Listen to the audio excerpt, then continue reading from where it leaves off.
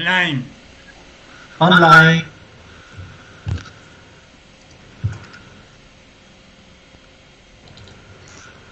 Online by YouTube? Yes. Perfect. Oh, excellent. Okay, I can see the chat. It's it's working. Yes. Is it? Oh, good. Welcome. Wow. You can use this chat. You can see. Yes, yes, yes. So can they see? Are, Okay. are, Yes. What are they going to be able to see when someone's presenting? Just their slides, or are they going to see our faces as well, or just the speaker's face? Sorry. Sorry, Barbara?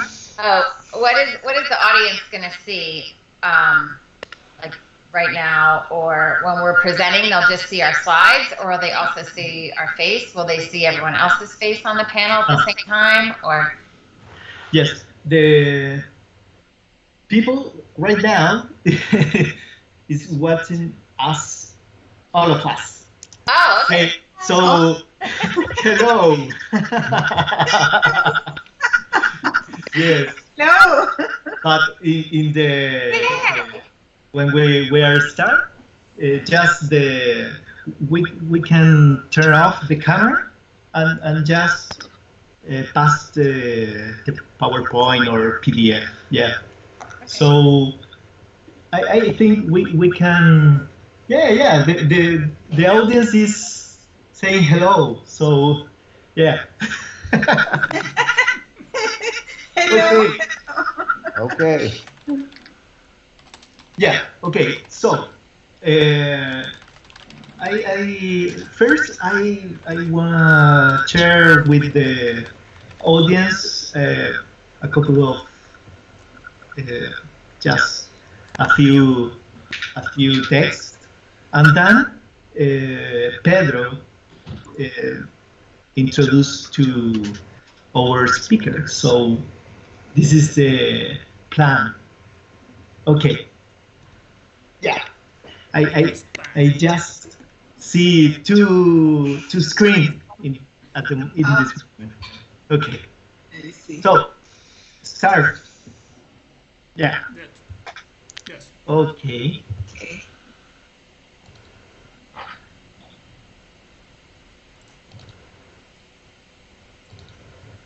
Okay. Good afternoon. Good afternoon to the audience.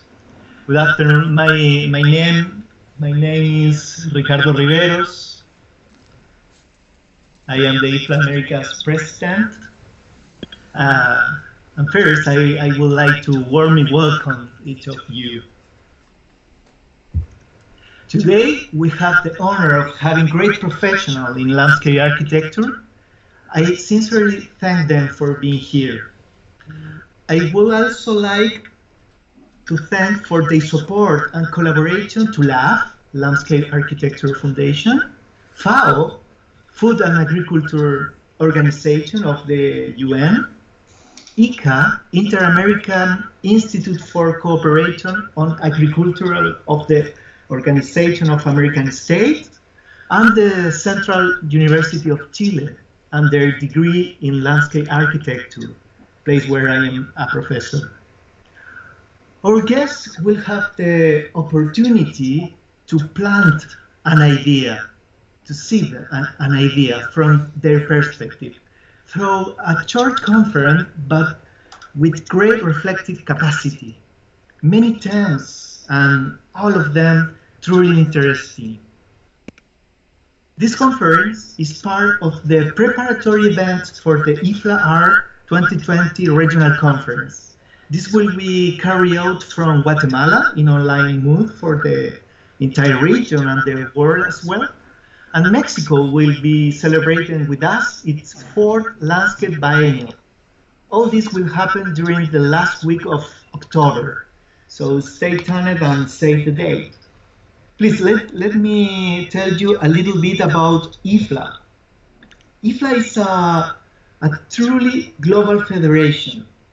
The International Federation of Landscape Architects currently represents 77 National associations from Africa, the Americas, Europe, Asia Pacific, and the Middle East. Our mission as landscape architect is to create globally sustainable and balanced living environment for the benefit of humanity worldwide. IFLA connects with the profession of landscape architect globally. Specifically, IFLA has a number of core objectives to establish the first, to establish, develop, and promote the profession, uh, discipline, and education of landscape architecture, combined with this with this diverse range of art and science on an international basis. Second, to establish, develop, and promote the highest standard of education and professional practice influencing the widest range of landscape architecture operation. Third, to develop and promote international exchange of knowledge, research, skill, and experience in all matters related to landscape architecture across all cultures and communities. IFLA developed its objective through committees, permanent committees, and working groups. IFLA has four international standing committees, Education and Academic Affairs, Professional Practice and Policy, Communication and External Relation, and the Financial and Business Planning Committee, which drive, coordinate, and deliver initiative, policies, and programs across its memberships. These standing committees have an elected chair who represent them on our executive committee, as well as representatives from each of our five regions. Each committee has a number of working groups which focus on particular topics central to profession.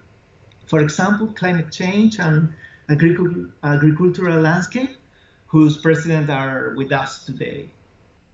These working groups have individual elected chairs as well as regional representatives to ensure a global perspective is applied to their work. A little bit about IFLA Americas. IFLA, uh, IFLA America is working on three objectives that are transversal to the reality of Latin America and North America. Education, governance, and professional practice. You can see our objective in more detail on your screen. We invite you to join IFLA's work through its IFLA member national association. And a special invitation to our friend of ASLA. IFLA is hopefully to build bridge across the region. Thanks for your attention. Now, uh, finally now I present to you, all of you, to Pedro Camarena from Mexico. Pedro is the chair of the IFLA-R Standing Committee on Professional Practice and Policy. Pedro will offer a brief introduction to the conference and will also introduce our guest. Go ahead, Pedro.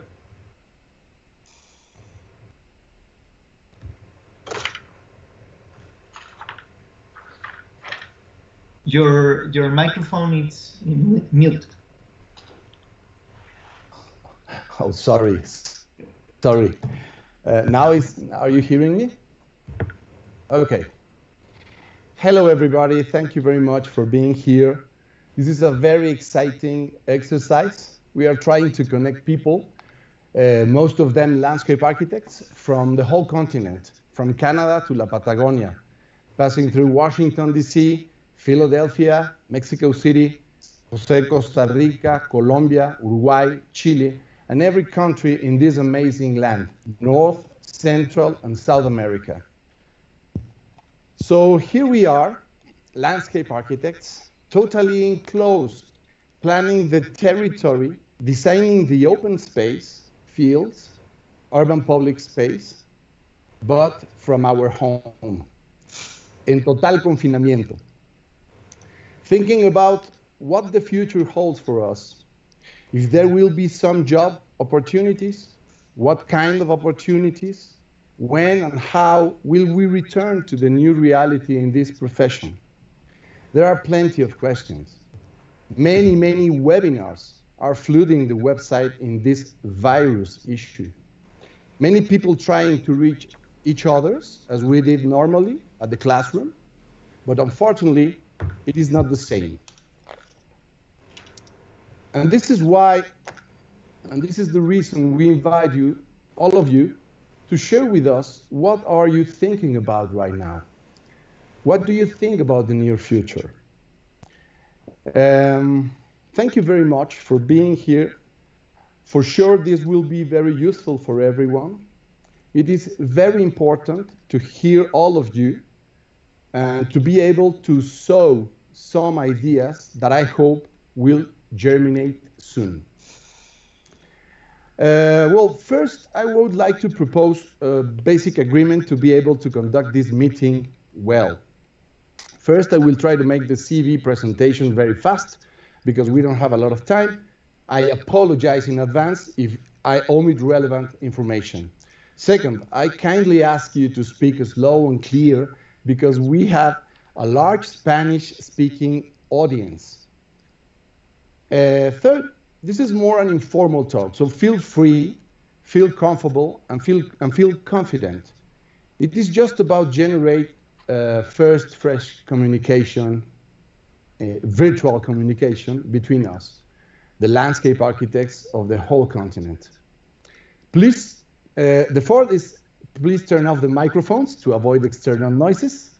And finally, uh, I can say that the, the audience can make questions and send it by chat. Uh, this chat available at the YouTube platform. And then uh, later, uh, Gloria Ponte will read it to the speakers. Uh, so thank you very much, all of you. Thank you very much for being here.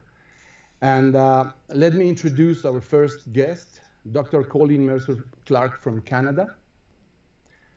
Um, Dr. Mercer Clark is an interdisciplinary scientist specializing in adv advancing resilience and encouraging transformation through the delivery of useful science on climate change and adaptation to communities, business, and governments. In 2012, she was appointed to the National Advisory Committee on Coastal Assessment at the Climate Change Directorate of Natural Resources in Canada and also served as one of the primary authors uh, for the 2000 uh, science and, and she's sorry currently she's an advocate for ecosystem-based approach to planning and design for the continued strengthening of efforts to protect and sustain the natural our natural world she was former president for CSLA the Landscape Architecture Canadian uh, Society in 2003 2004. And, and she's also served as on a range of national boards, executive and local and national advisory committees related to coastal and ocean management and to broader conservation goals. Currently, she serves as the chair of the professional practice and politics on the International Federation of Landscape Architects, IFLA.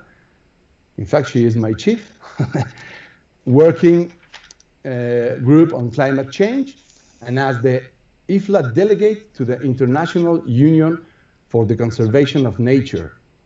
Welcome, Dr. Mercer Clark, and thank you to be here. Thank you, Pedro. Let's see if we can make this uh, actually work. And it would help if I hadn't lost my screen. Don't worry, we can see it. Here we go. Try again.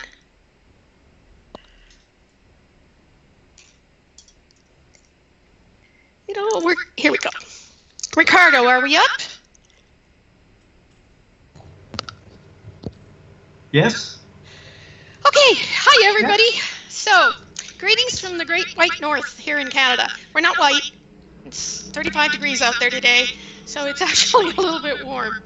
Um, I do have to correct Pedro. I, I chair currently the working group on climate change under the Committee for um, Policy Practice at uh, IFLA. I am a nominated candidate for the chair of uh, the National Committee, but I have not yet been confirmed.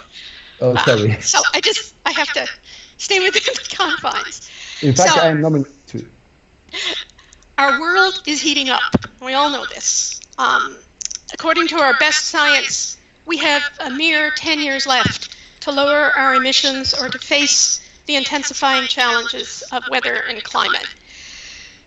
We're losing species at an unprecedented rate.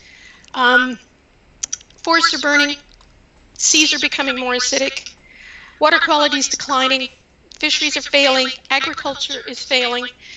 Communities are burning, flooding, being blown away, and drying up, and people are on the move, migrating toward hopefully a better place, a home in which they can prosper, safe from stress and fight, strife. Um, we are facing a crisis of unimaginable and unknowable scale, and this is what IFLA has been grappling with now for three years through participation of volunteers like the people you see on this uh, uh, conference tonight who are working really for the better good of everybody. Because of this, at the Oslo meeting of the World Council, um, IFLA declared a biodiversity and climate emergency. At the Congress, it also committed the 77 nations and all of the members of IFLA to advance the progress on the seven, oh, 17 goals of the UN Sustainability Program. These goals, if you look at them, they are an amazing blueprint for creating a better world.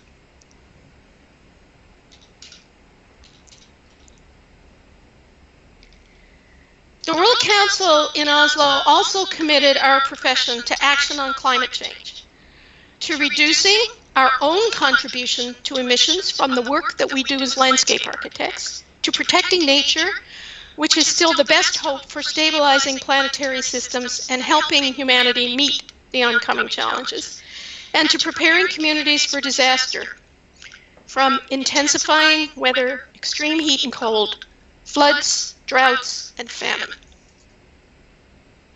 And then came COVID. And everything changed. COVID put the world into seclusion. Societies and economies have shut down. When you add COVID to what we were already facing, all of those challenges are still there. The difference now is we've added a global pandemic. In addition to the loss of family members, COVID has ruptured economies and increased the stress and strife of individuals and populations worldwide. And we are still facing a crisis of unimaginable, unknowable scale. Ricardo asked me to respond to the question of how does COVID change our response to climate change? And what does our post-COVID world start to look like? So that, that's kind of a big question to answer. Do we go back to the way things were before COVID? COVID has proven that not only that pandemics can happen across the globe, but they will happen. So how could we go back to the way things were before? And because of the lag time between the emergence of a new biological threat, a new disease, and the development of successful vaccines and treatment, disease has become a mass, massive new challenge in the planning and design of human communities. As landscape architects, we bridge the gap between the natural and the built world. We know the value of the ecosystem services that support the quality of life in human communities. And we understand the overwhelming costs that would occur if we were to attempt to supply those services only through technology. Decision makers are also realizing that natural assets are assets that require protection and enhancement.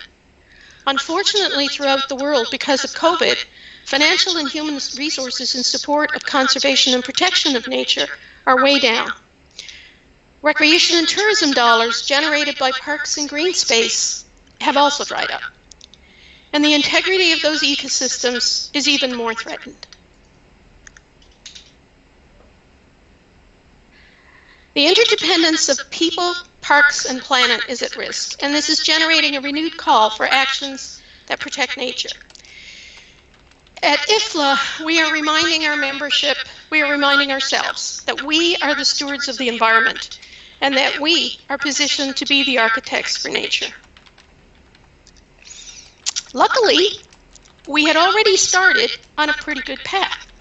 In 2017, IFLA challenged landscape architects worldwide to ensure that their actions reflected three interrelated principles. There's nothing new about these principles.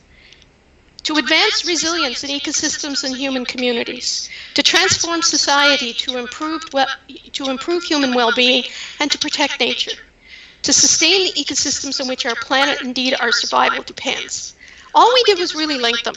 We've known about these for 30 years, and to one degree or another, most landscape architects follow them. But in 2017, we asked you all to recommit to the principles and to combine them in the work that you do and the decisions that you make going forward. In 2019, we declared the climate and biodiversity emergency. We established the SDGs as our guide, and we proposed the climate action plan. In 2020, this year, I'm very proud to say that IFLA was accepted as a member of the International Union for the Conservation of Nature, the IUCN. Through this union, we are creating partnerships that will help us make a difference in the world. So our role, our responsibility, landscape architects can be the engine that inspires change in social behavior, showing decision makers what is possible and practical. And to do this, we need new thinking and we need to celebrate innovation. We need to reach across the other disciplines and professions, the sectors and the borders to create new partnerships and to enhance the ones we already have. Because these problems are wicked problems, they're complicated problems, and one profession is not going to be able to solve them on their own. Interdisciplinary teams are needed to find solutions to existing and anticipated challenges. And above all, we must work to prepare the next generation, for their world will be vastly different than the one we know, with COVID or without COVID.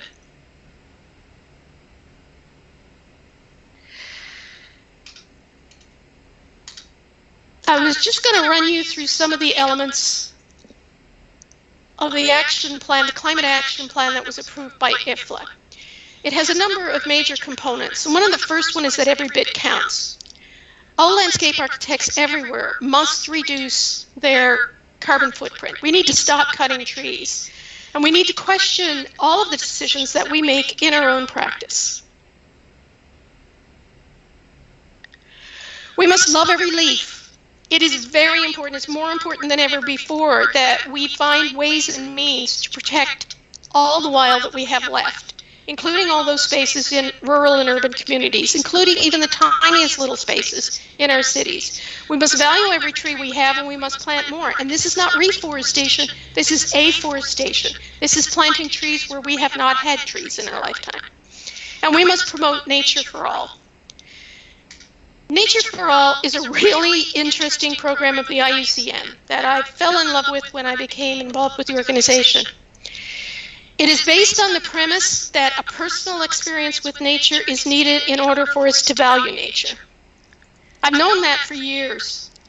It can live to a, a lifelong love with nature that stays with you forever, and I am uh, evidence of that. Nature for All calls on us to create spaces where people can enjoy the natural world no matter where in a city they live, no matter where in a community or in a country they live.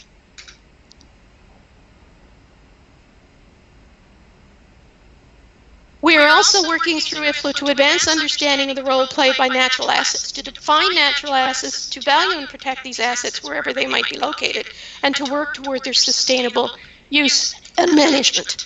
And one of the aspects of working on natural assets is, and one of the newest buzzwords at the UN, and I do mean it's a buzzword because there are people discovering nature-based solutions that have never worked in nature-based solutions.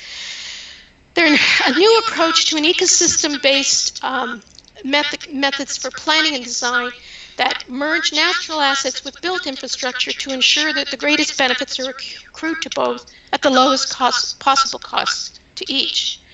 Nature based solutions are providing new and pragmatic means to reduce impacts from severe weather, to reduce energy demands and provide renewable energy solutions, and to capture a wide range of co benefits to both natural systems and to human populations. Included in those co benefits are the positive attributes of neighborhood green space, the provision of safe drinking water, and the reliable supply of food. COVID has taught us that all of these become essential to urban dwellers when established supply chains are interrupted and when people are confined at home. We must create the community attributes we need to be well, where we live, because travel to greener spaces may not be the option it was in the past. And one final thing we must step up to take on this work, and we must do it soon. Other professions, not particularly well versed or respectful of natural environments, are already on the move.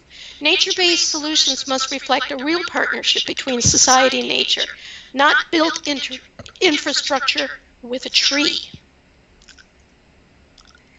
And lastly, the last component of our action plan on climate change was that we need to innovate, to transform, and to create. To create. We need to plan and design for the future.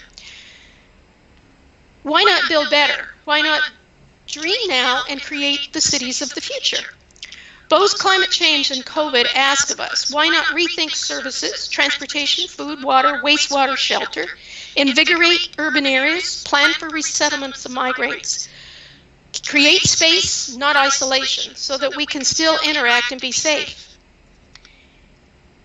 We need to find new solutions, sometimes to problems that may now be on the horizon, but will all too quickly become a way of life, like a COVID pandemic. We need to innovate, to transform, to create. And it is not enough to do what we do well. We must do what we have never done before, and then we must do all of that better. In May of next year, here in Ottawa, the CSLA is running its National Congress on a theme of nature based solutions in a changing world. We're trying to figure out how to do a more virtual meeting in the chance like this one, in the chance that we still will not have the mobility we hope to have. But please check us out online and think about joining us because we'd love to welcome you here to Canada and we'd love to work with you on these pro problems. Thanks, everybody. I look forward to the discussion.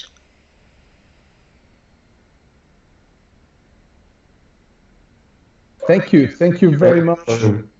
Yes, yes. Thank you very much, uh, Dr. Mercer Clark. Uh, aplausos. Sí, muy bonito. Muy bonito. Uh, yes, uh, in fact, uh, I think uh, we need to think about the.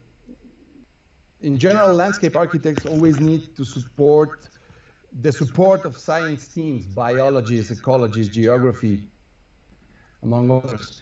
Uh, um, and you, as a scientist, consultant, and promoter of uh, ecosystem-based approach uh, to planning and design, what do you think should be the changes in the orientation, not only the training, but in the real professional work of landscape architects facing this post-pandemic?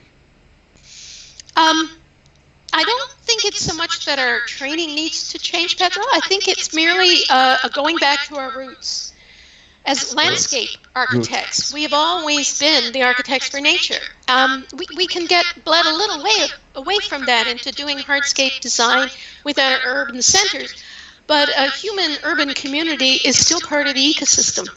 And we still rely on all of the uh, components of the ecosystem to furnish us with the needs that that community has. So if we as landscape architects look at the work we do in the scale in which we do it, sometimes when you talk about climate change to people, they're overwhelmed by the magnitude and complication of everything that's happening.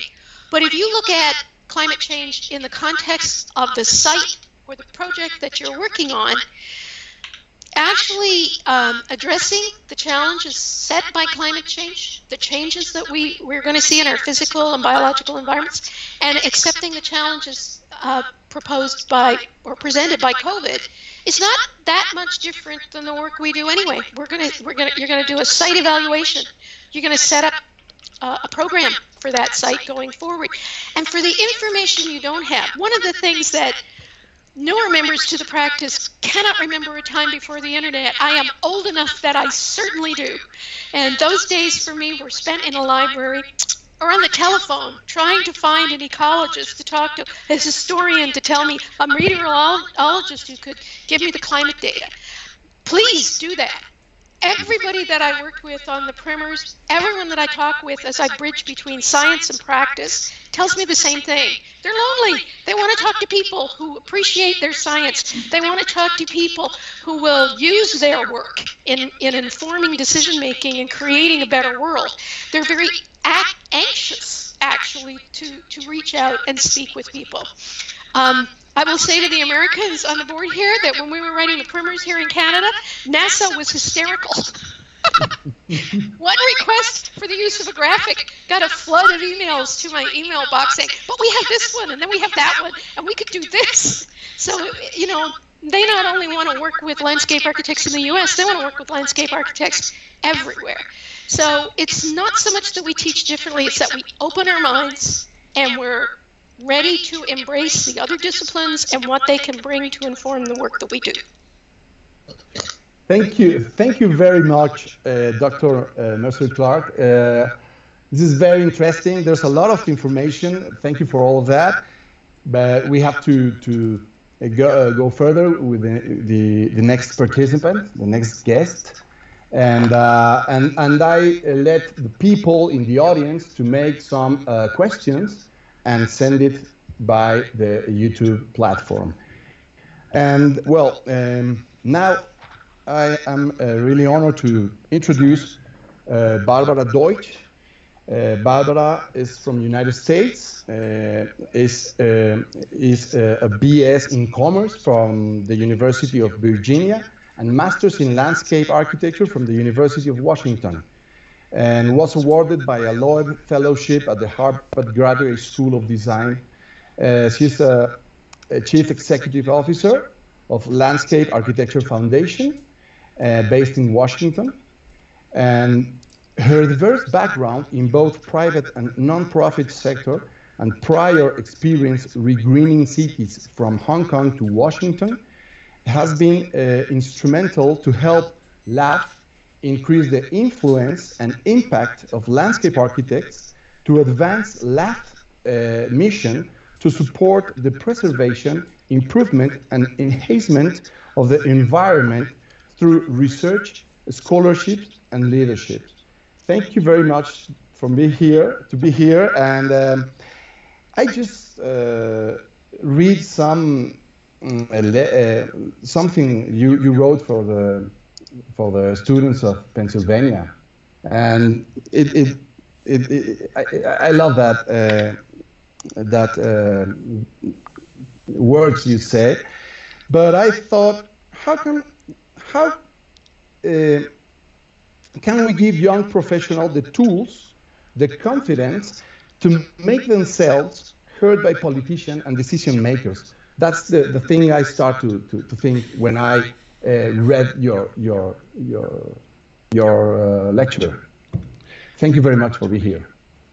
Well, thank you for inviting me to help uh, share what we're doing at the Landscape Architecture Foundation to do exactly just that. So let me get it. Let me share my screen. And so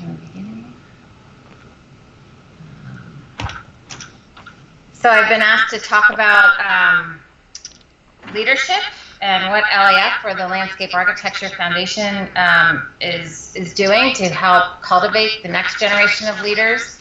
Um, that letter I wrote to the students. We are very concerned with the pandemic and the economic climate um, about this, uh, particularly this class, of this generation, and don't want to lose them. And so this isn't something new. This is a key strategy for LAF to cultivate leadership in the next generation.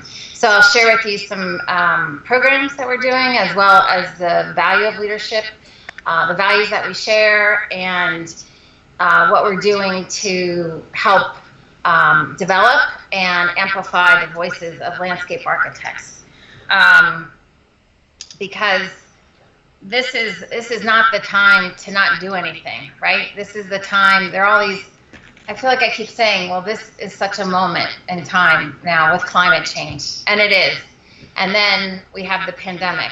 It's like, wow, this is another moment converging on top of this. And then we have in the United States uh, reckoning with uh, racial um, inequities and violence. And um, so there is a lot converging now, and it all actually, um, you know, makes sense because um, these are all things that were issues, but but now being brought to the the fore right now at the same time. So um, we hope that it is a time that uh, uh, it is a call for leadership and a call to use our voice and a um, and even though there's um, a lot of uh, tragedy, we hope it's also an opportunity to do things differently in the future.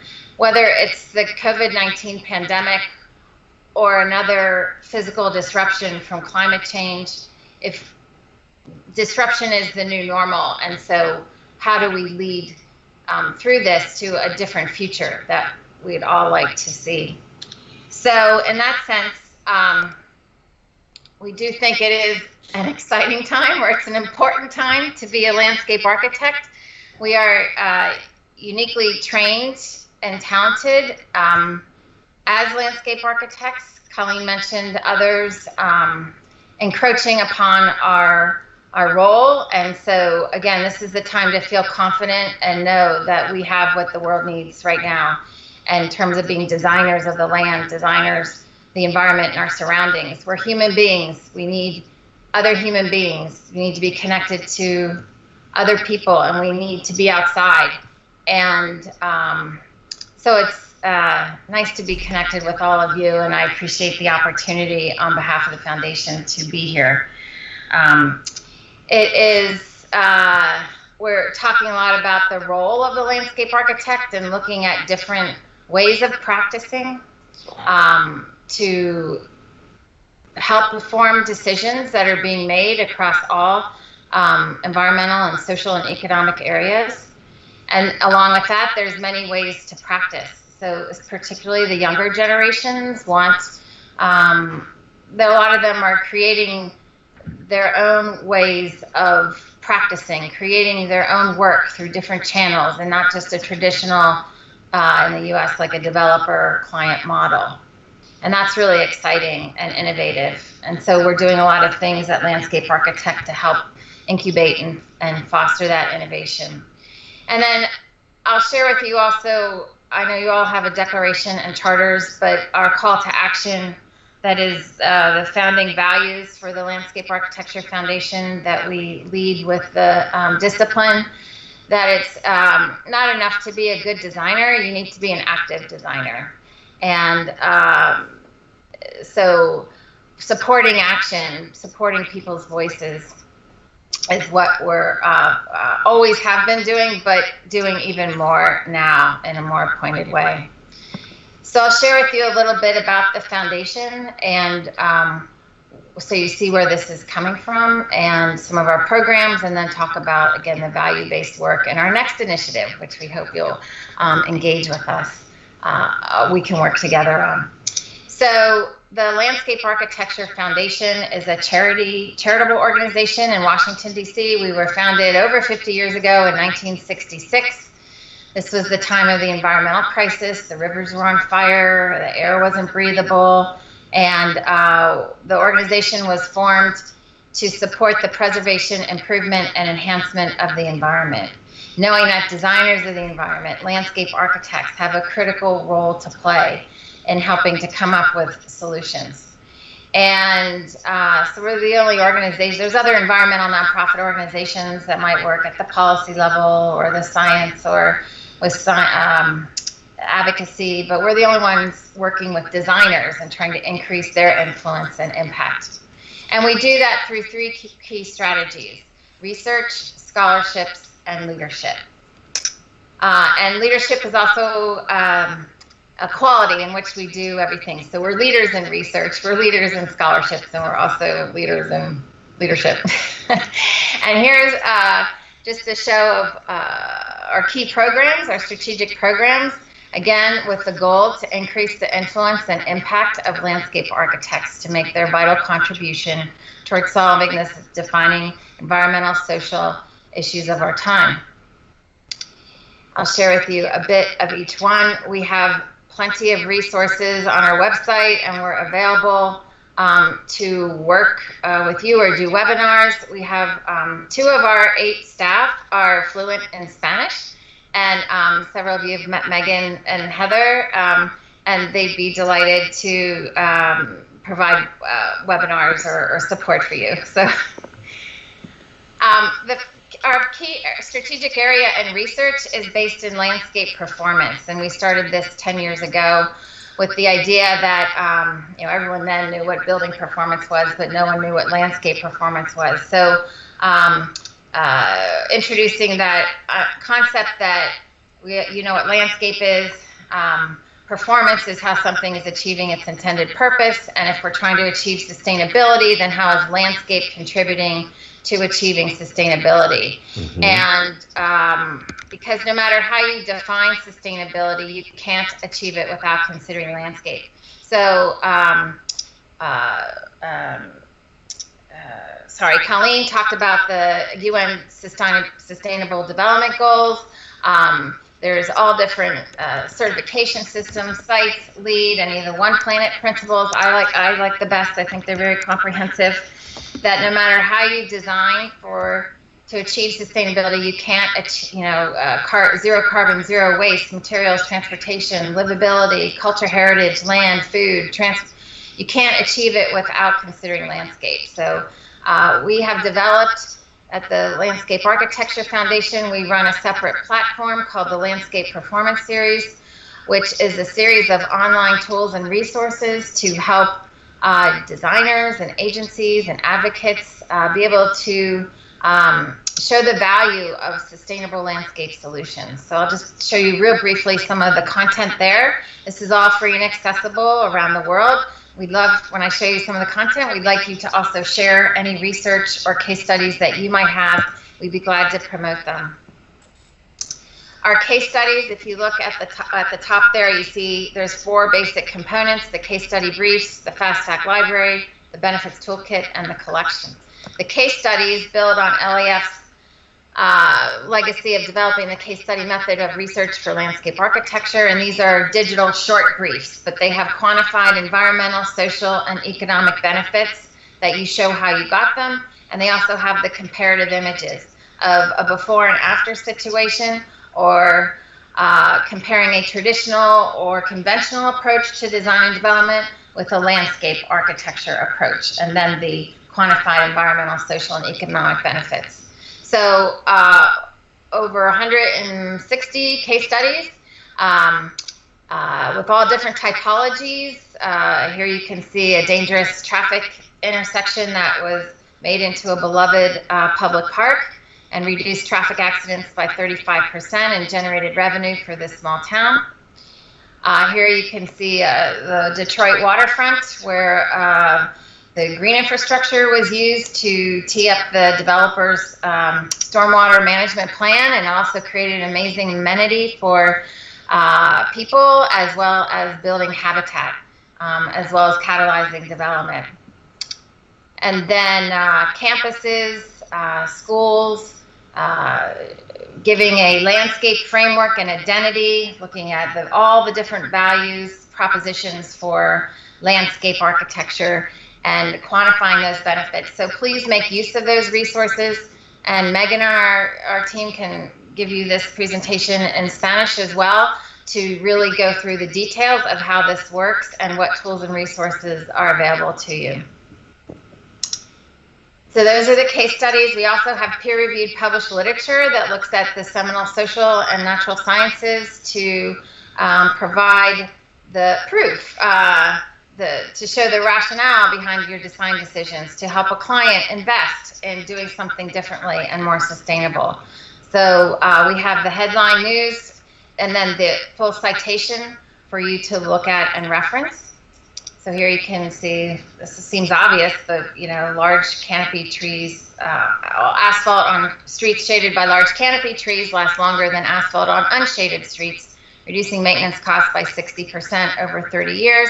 And we've had designers tell us that this has been helpful with them, with the architects and the developers to invest in more tree cover on streetscapes and parking lots and um, get a higher um, LEED certification the social sciences, looking how uh, this is not just for kids, but adults as well, but especially now in the pandemic. I mean, this has all been there, right? But now you can pull this out and reference it uh, as if we didn't know that when you walk in a park, uh, when kids walk in a park um, with trees versus other urban settings, they're more focused, they're less aggressive, they perform better on tests, on and on and on, all the benefits of uh, nature, as Colleen was mentioning. And when kids have access to well-programmed uh, parks, um, they are more healthy and a more normal weight. There's so there's over um, uh, I guess I want to say over 150 um, fast facts in our library for you to choose from, and you can sort them by all these different types of benefits um, or typologies. Uh, lots of research on the value of parks, um, increasing property values. And then also looking at larger scale, what is the value of uh, green infrastructure at a larger scale? And when we look at climate change, you know, reducing electricity use, um, uh, 7.2% due to just having a good uh, street tree canopy. So we have the case studies, the fast facts, and then the benefits toolkit. Um, these are online tools to help you quantify the benefits of your work. So certainly uh, we have the name of the tool, who developed it, uh, the inputs and outputs required, and then an actual link to the calculator for you to use. So work here from the USDA Forest Service about quantifying benefits for trees. I want to, um, anything on vegetable gardens or biodiversity indices, or here's a floristic quality assessment calculator. I want to uh, share this particular tool with you called Pathfinder. It's a landscape carbon calculator, and it was developed by one of the LAF fellows um, from last year. And um, she is on the uh, Climate Alliance with Colleen and ASLA and LAF uh, as well. Um, but it's an amazing tool that, uh, let me show you how it works, okay? And you can link to it from our website. So it helps you become more climate positive in your design. It's a design tool that uh, will do an assessment of what your current design uh, would be for to get 15 years to positive. So how much carbon dioxide it's emitting and how much it's sequestering. And then through some design changes, you can reduce your years to positive. So this would take 15 years to get to climate positive. But by changing some materials, adding more trees and more green cover, which improves the quality of the space, it was able to get your design down to five years to climate positive. Here's another example with the plaza. It's 194 years to climate positive with the amount of carbon dioxide emitted and the carbon, uh, you know, the carbon amount of carbon dioxide emitted. So again, by changing the design, to uh, change materials, change amount of impervious cover, add vegetation. We're able to reduce the footprint from, what was it, 194 years to 20 years to positive. Um, so we still have an impact, but we need to uh, work to reduce the impact of our work. And um, this, we have a challenge out to our board and and all the students and everyone who, you know who wants to to use this design tool in their practice. So we ask you to join the challenge as well, the Climate Positive Design Challenge, and uh, use this as part of your design process. So those are the components of the Landscape Performance Series. You have the case studies and the FastFact library and the toolkit, and there's a lot of other resources and tools available on there to help show the value of sustainable landscape solutions and a landscape approach. We've taken uh, eight years of expertise in, in this process. It's also a process to include this in your design process and put it into a guidebook for metrics and method selection, which is free and available on our website as well. All right, so that's the research side of the house. We also have uh, some research grants. Uh, we'll be announcing a new one in um, uh, August. Um, and now I'll move to scholarships, right? So LAF, research, scholarships, leadership. And uh, we're the leading provider of scholarships for students to help support this next generation. And we also recognize students through our Olmsted Scholars Program. Every every school selects their best and brightest. They go into a pool, and a professional jury picks the winners. The winner receives a twenty-five thousand dollar award at the graduate level, a fifteen thousand dollar award at the undergraduate level, and then there are six finalists uh, between uh, three and five or six thousand dollars, and we work to build this network of Olmsted scholars. So we have over 800 of them now in 10 years of the program and work to develop their uh, network of support with each other as well as leadership development. And they are the young voices and they give you such hope. Like it can be really depressing, can it? So, you know, but they they're so inspirational and you realize, yes, we are leaving this in good hands and we're helping them develop their voice and their skills and their network and working with each other in many ways to um, help make the changes we all want to see. LAF also invests in our leader, our fellowship for innovation and leadership. So we uh, just had finished today our symposium for this group of fellows. Uh, they receive a $25,000 award to dedicate a portion uh, their time over the course of a year to take a time out and think deeply and, and reflect uh, on and develop something that is transformative to practice. It is also a personal transformation to develop their leadership skills, and they are there helping each other as well in an intergenerational cohort.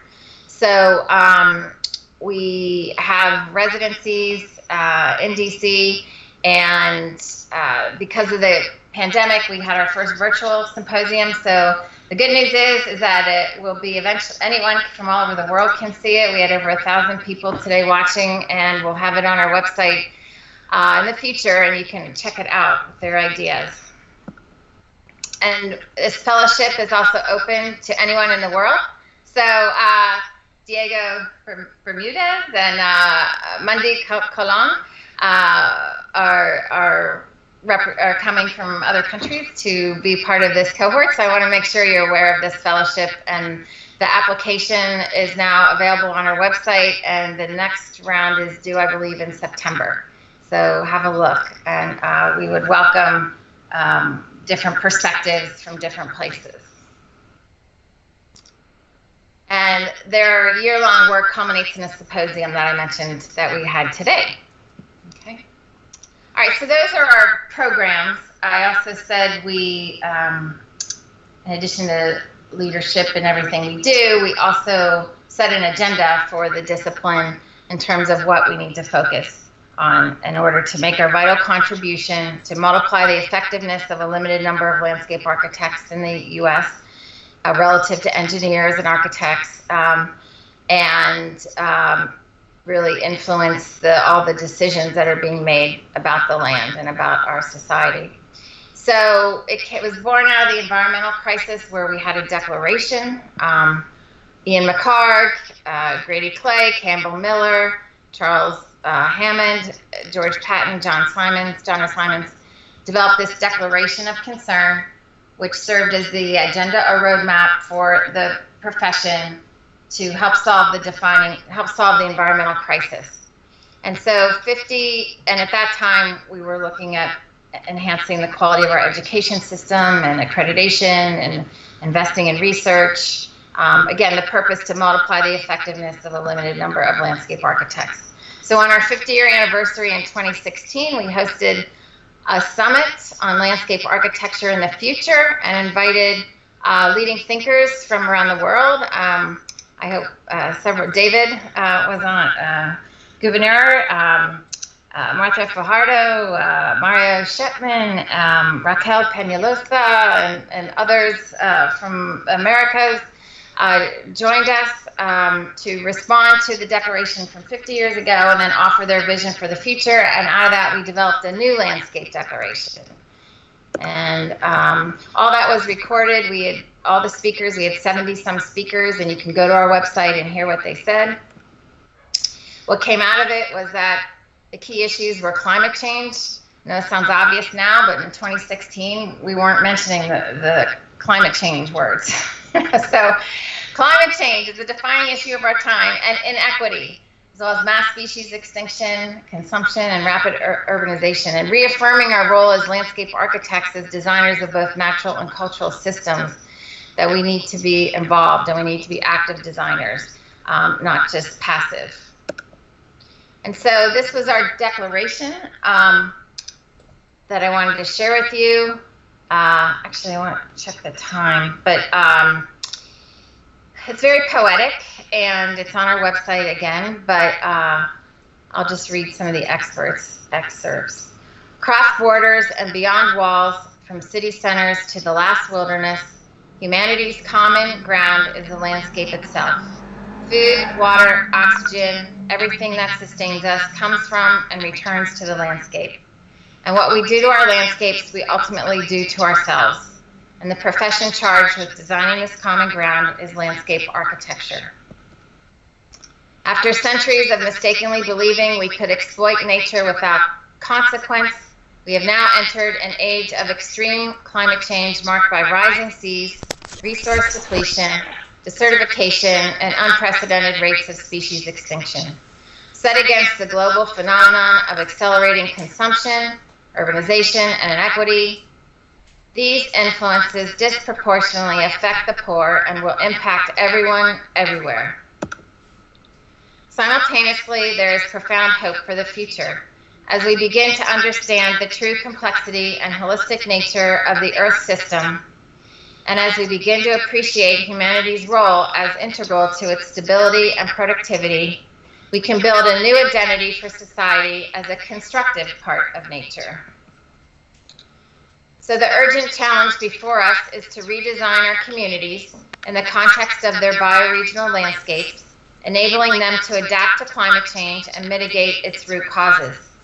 As designers versed in both environmental and cultural systems, landscape architects are uniquely positioned to bring related professions together into new alliances to address complex social and ecological problems. Landscape architects bring different and often competing interests together so as to give artistic, physical form and integrated function to the ideals of equity, sustainability, and democracy. As landscape architects, we vow to create places that serve the higher purpose of social and ecological justice for all peoples and all species. We vow to create places that nourish our deepest needs for communion with the natural world and with one another. We vow to serve the health and well-being of all communities. And to fulfill these promises, we will work to strengthen and diversify our global capacity as a profession. We will work to cultivate a bold culture of inclusive leadership, advocacy, and activism in our ranks. We will work to raise awareness of landscape architecture's vital contribution, and we will work to support research and champion new practices that result in design innovation and policy transformation. So we pledge our services and we seek commitment and action from those who share our concern and are delighted to um, instill these values in the new generations and all generations of landscape architects.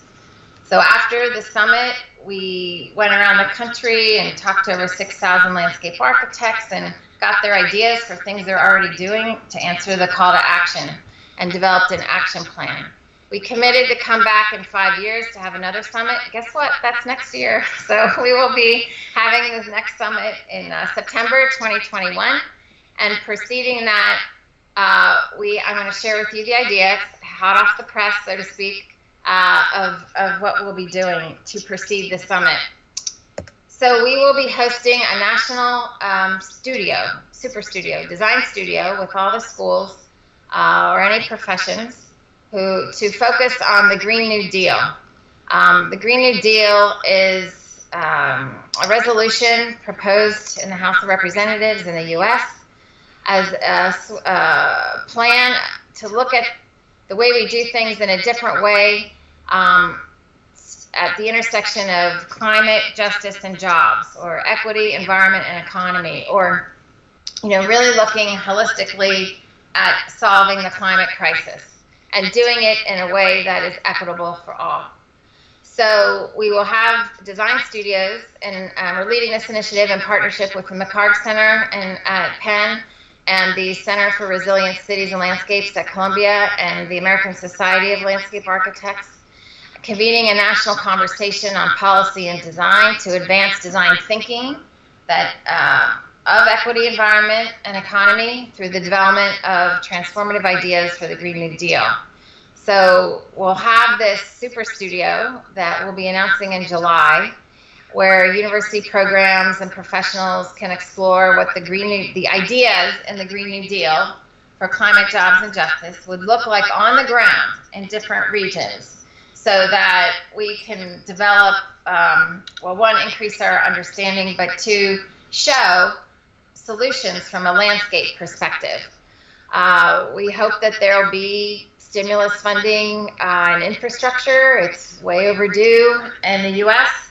And uh, when, if and when it comes out, we want to be prepared to have ideas and projects ready um, that reflect that are from a landscape perspective, not 40-year-old engineered solutions uh, that con- put concrete in rivers and, and don't take advantage of the multiple benefits that landscape provides.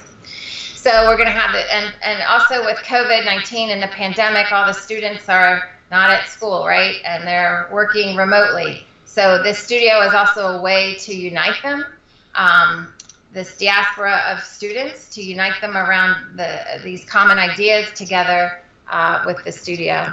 And then we'll take the energy and ideas from the studio and we'll put them um, as part of the conversation for the summit that will be held in September 2021.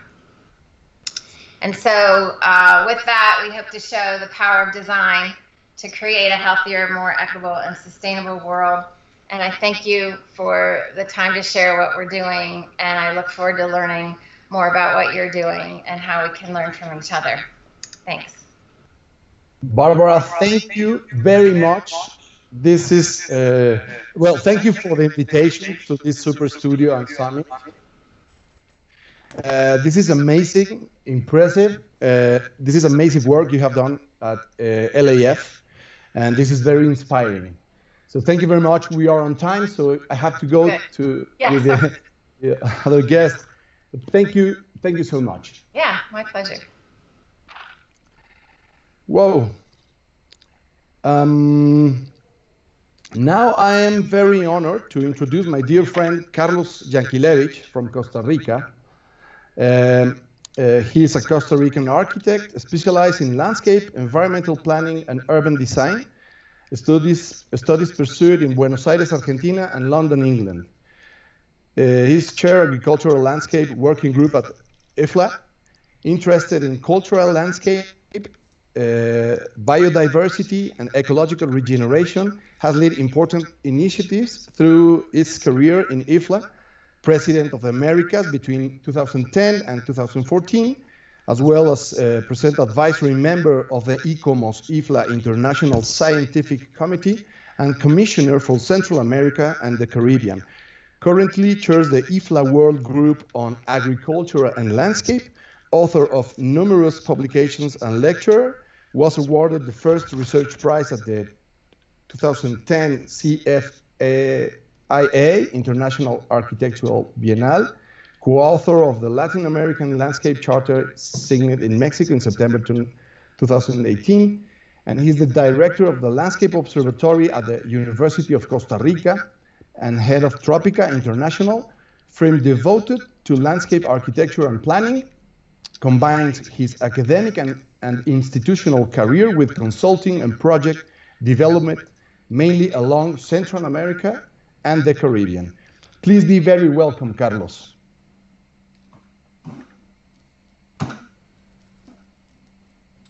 Thank you, Pedro. Um, okay. Right.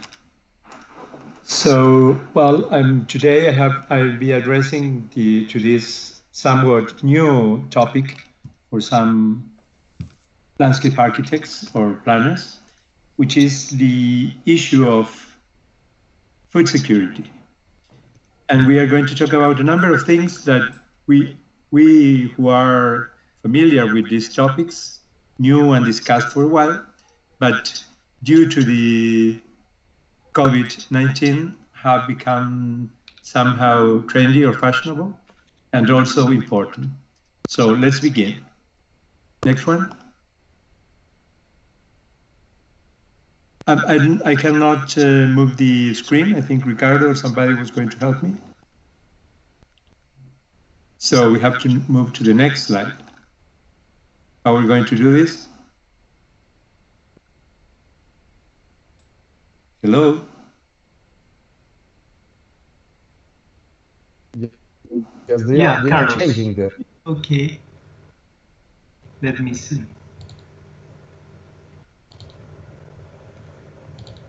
Okay. Okay. Okay, agriculture and landscape. Let's go to the next one.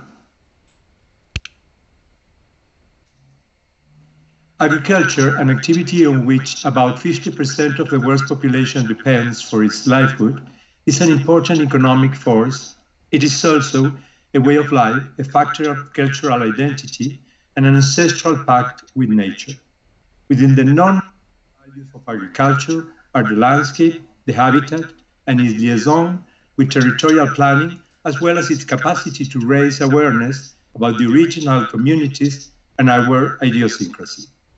But without a doubt, the most significant contribution of agriculture is that for more than 850 million undernourished people in the world, most of them in rural areas, it is a means to face hunger. Next one.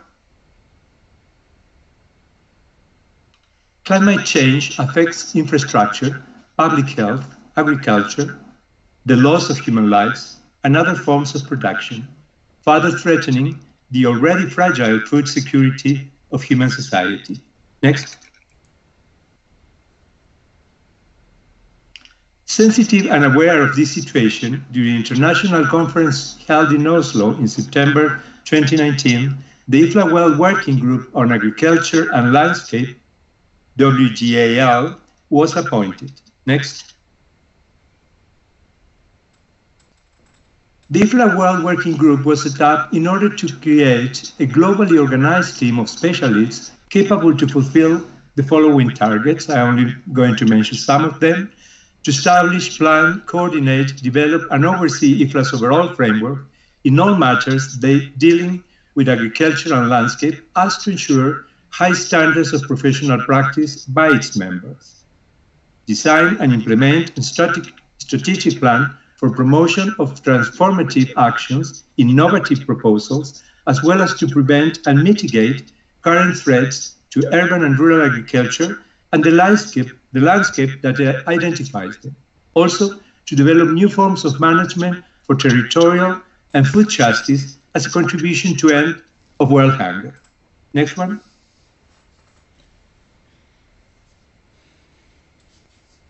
Other targets were to make an inventory of agricultural history heritage system in each region and nation in response to the safeguarding of agriculture, biodiversity, and wildlife, and the dissemination of indigenous knowledge sources and ancestral cultures.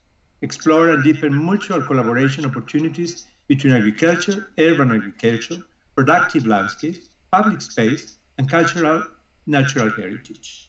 Next. In pursuit of the attainment of these targets, IFLA WGAL signed an agreement with IACA, ICA, which is the Inter-American Institute for Cooperation and Agriculture, which is the largest agricultural agency of the Organization of the American States, and now also we are negotiating a memorandum of understanding with FAO, which is the Food and Agriculture Organization of the United Nations. Through both ICA and FAO treaties, we seek to integrate actions in Latin America, the Caribbean, as well as worldwide in order to generate international, region, regional, and local cooperation. Next.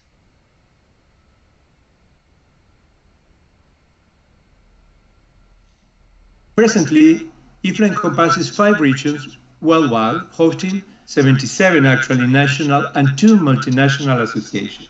Next. Productive landscapes.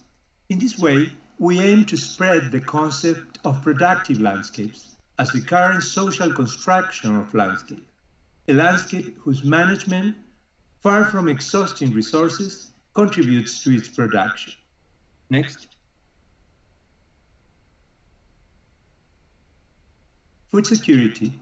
Food security is the situation in which all people at all times have physical and economic access to get enough nutritious safe food to meet their nutritional needs and develop a healthy life. Next.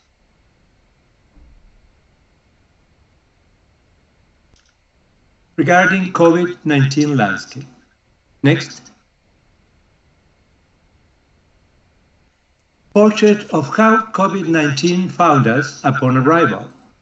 COVID-19 arrived in America firstly in February and then by March. The following is a portrait of how it found us in our region at that time. Next. Facts. I'm going to mention only some of them. Without only 9% of the population worldwide and 4% of its rural population, Latin America and the Caribbean have 16% of agricultural soils, 33% of suitable but not used surfaces for agriculture, 13% of the forest area, and 50% of the biodiversity. Despite such privileged endowment of natural and biological resources, Latin America and the Caribbean must make a call alert since this heritage is subject to a process of degradation which can worsen if there are no major changes.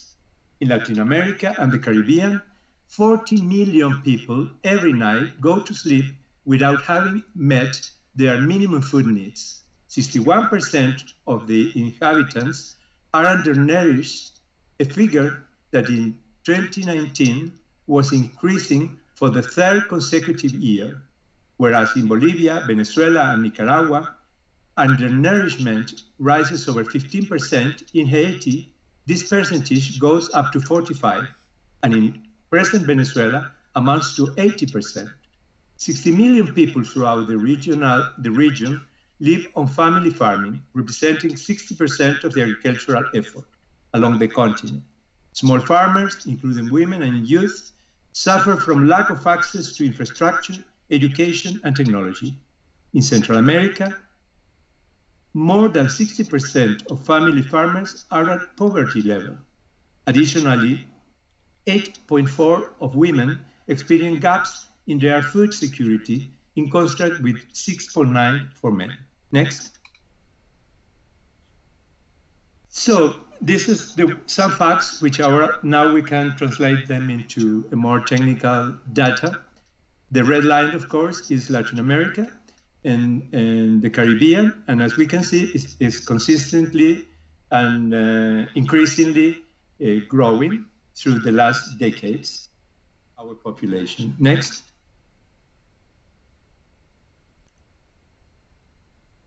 Prevalence of malnutrition in Latin America and the Caribbean. This uh, chart shows how prevalence of malnutrition uh, by country uh, was seen as uh, from 2014 to 2016. Next. These curves are showing more or less the same. The orange uh, curve is um, the world, and the red one is Latin America and the Caribbean. We can see here the prevalence of malnutrition in Latin America and the world, and the prevalence of malnutrition by region, as well as the prevalence of malnutrition by regions, which is the, the final yellow line. Next. Child mortality rate from 2000 to 2005, where we see the different countries, and then uh, rural indigenous is the orange uh, column, and red is the urban one. So we can see, we are going to see consistently how almost it amounts to the double the difference between uh, uh, or inequalities, differences between rural and urban. Next.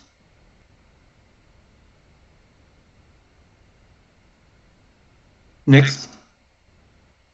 Prevalence of malnutrition in Latin America and the Caribbean. Mesoamerica has a higher prevalence of malnutrition, affecting up to 10.3 of the population malnutrition prevalence, varies widely through Latin America and the Caribbean. Brazil and Uruguay were the only countries where prevalence of malnutrition lower than 2.5 between 2014 and 2016. Prevalence of chronic malnutrition, acute, and mortality in minor children under five years, however, in Latin America are decreasing over the last few years. Next one.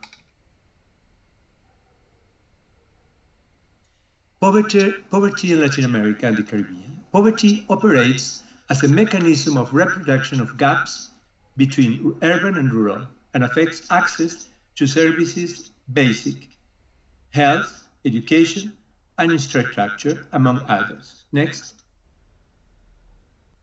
Again, we see the charts, the yellow columns, the, the one at the left is urban, the one at the right is uh, rural, and then we see the increasing by country of the differences, and then summing up the total of Latin America, at the bottom, we see always the same situation, 23.6 for the rural areas, for the urban areas, and a 45.1 for the rural ones. Always the inequalities are double, amount as the double from rural to from urban to rural. Next one. Same, same thing for extreme poverty. Next one. Now, extreme poverty, the yellow column is poverty and the pink one is extreme poverty. Next one.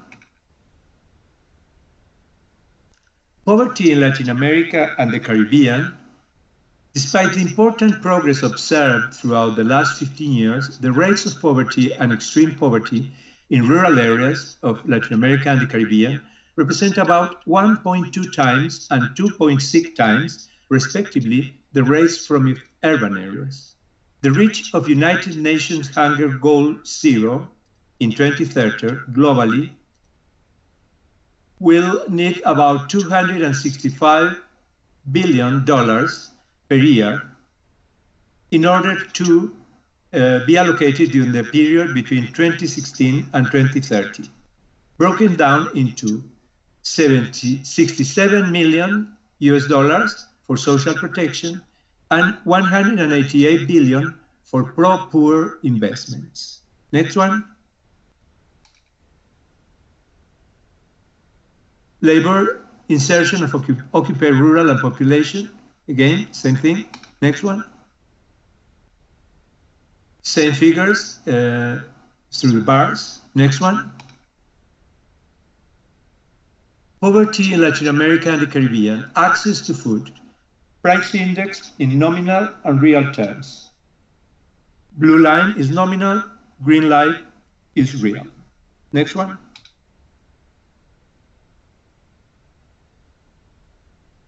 Child labor between 10 to 14 years as for 2015.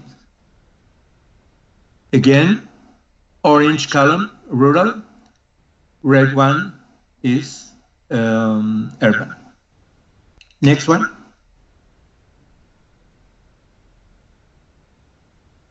So we have a look at what the COVID pandemic, pandemic was through having a picture of who we were and who we still are at the beginning of the pandemic and still now. These figures continues to follow the, the usual trend. The foreseeable end of the pandemic. At some unexpected moment, in different regions, countries, and communities, with various rhythms and fashions, in a process through time, finally, the pandemic will come to an end. Next one. Post-COVID-19 challenges and opportunities. Next one. The end of the present pandemic has become a scenario of permanent comment and constant reflection in the most diverse fields, as a result of which possible changes in paradigms and management models are announced and proposed. Next one. The reconsideration, we are in this post-COVID-19 return to nature. The reconsideration of human society as part of the species and regarded as just one more inhabitant of nature and not as its owner appears repeatedly in several of the new and reformulated approaches. Next one. Return to the future. However, the return to a controlled or COVID-free 19-free world will not happen at once, a certain day, but through a considerable process of transitions, I would say, with very different nuances by groups of countries and with a marked impact of the reorganization of the hegemonic groups leading production and international trade. Next one.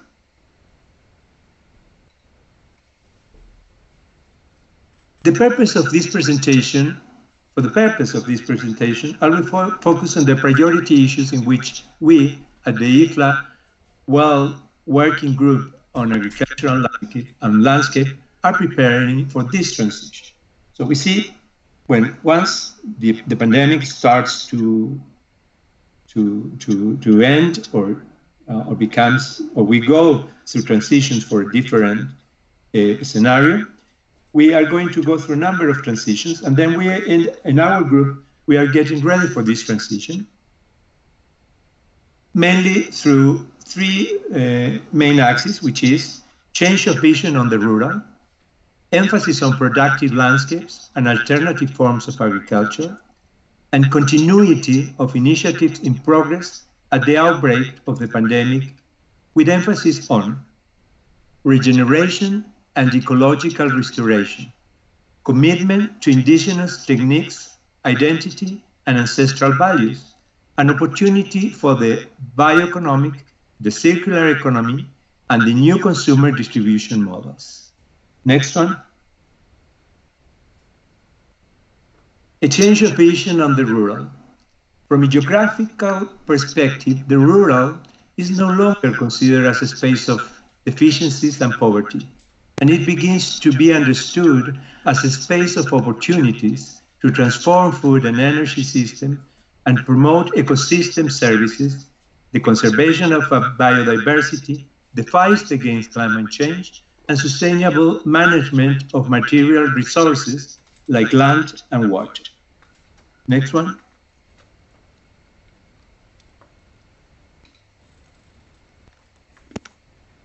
A change of vision on the rural. Latin American and the Caribbean countries faced a complex world scenario with less economic growth, greater volatility, trade restrictions, and with the need to act against climate change. Due to this situation, according to the CEPAL, which is the Economic Committee for Latin America, an additional fund of about 6 billion US dollars would have to be allocated throughout the region to fulfill social protection needs. Also, another 2,000 millions US dollars ought to be allocated in order to support pro-poor produ productive initiatives. Next one.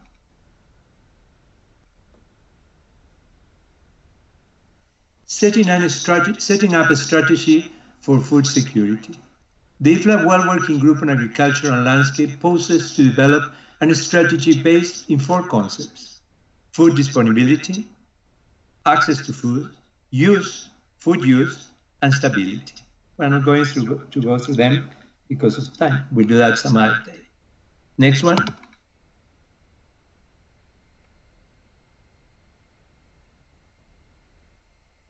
How to maintain a sustainable food supply in Latin America and the Caribbean through these transitions that we are going to go through, I hope, very shortly. First, promoting sustainable agriculture. Second, decreasing food losses. Thirdly, reducing the gender gap. Fourth, promoting measures of adaptation to climate change and management of natural disasters. Five, improving access to public and green infrastructure. FAO estimates that around a third of the food produced in the world, that is to say 1.3 billion tons per year, is lost before consumption. These losses occur due to handling, distribution, storage, and consumer behavior problems. Next one.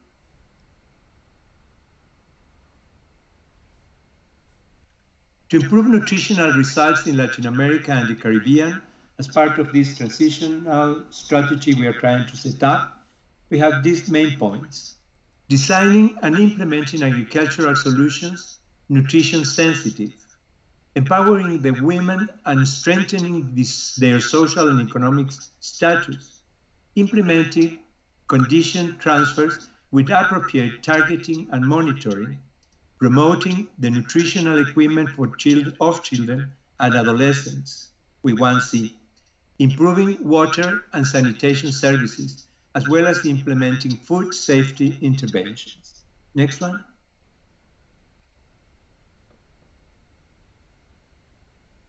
Food security, understood as a way of life in relation to nature, together with the environment, close to new concept of rurality and urbanity, opens up a number of options for the improvement of ecosystem services, environmental health, quality of life, identity, and communication. It poses a new relationship for consumer distribution and community production associated with a greater and better employed public space.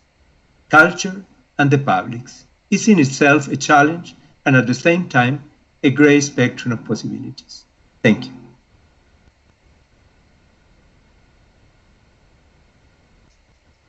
Wow, wow, bravo, Carlos. Thank you very much. Uh, reality bites. and uh, there is a very complex situation in Latin America and the Caribbean. Uh, but I'm very happy to hear about this uh, uh, and IFLA agreement. I think that is very, very important. And um, these three points, I, I, only want to remark these three points. Change vision of rural, emphasize productive landscapes and community initiatives, uh, setting up a strategy, a food security strategy. Thank you very much, Carlos. I have to go to the next um, guests. Thank you, Pedro. Wow. Um, now, uh, I, am honored to uh, welcome uh, Lucinda Sanders from the United States. Uh, Lucinda, first, uh, and, and, thank you very much, Lucinda, for accept to be here with us. Uh, Lucinda first studied landscape architecture at Rutgers University and went to earn a master's degree in landscape architecture from the University of Pennsylvania. She is CEO and partner of Olin Studio. Lucinda Sanders is responsible for continually shaping Olin as a leader in design excellence and sustainability among the complex changes, challenges of the profession. Lucinda is actively involved in multiple boards and committees dedicated to advancement of the field of landscape architecture, urban design and planning, including uh, Landscape Edu uh, Architecture Foundation, the Lady Bird Johnson Wildflower Flower Center Advisory Board, and the CEO Roundtable of Landscape Architects. Lucinda is currently a professor of uh, landscape uh, architecture at UPenn. Welcome, Lucinda. Thank you. Thank you very much for being here. And let me say, since I met Laurie Olin a year ago at the Hotspot City Symposium at UPenn, I was pleasantly surprised by the wisdom of that man. And I would like to ask, what does the Olin Studio think about this incredible new global situation? What is that man's vision now? What do you think will happen in the profession of landscape architects, at least in the United States? Thank you and welcome. Thank you so much. Thank you, Ricardo.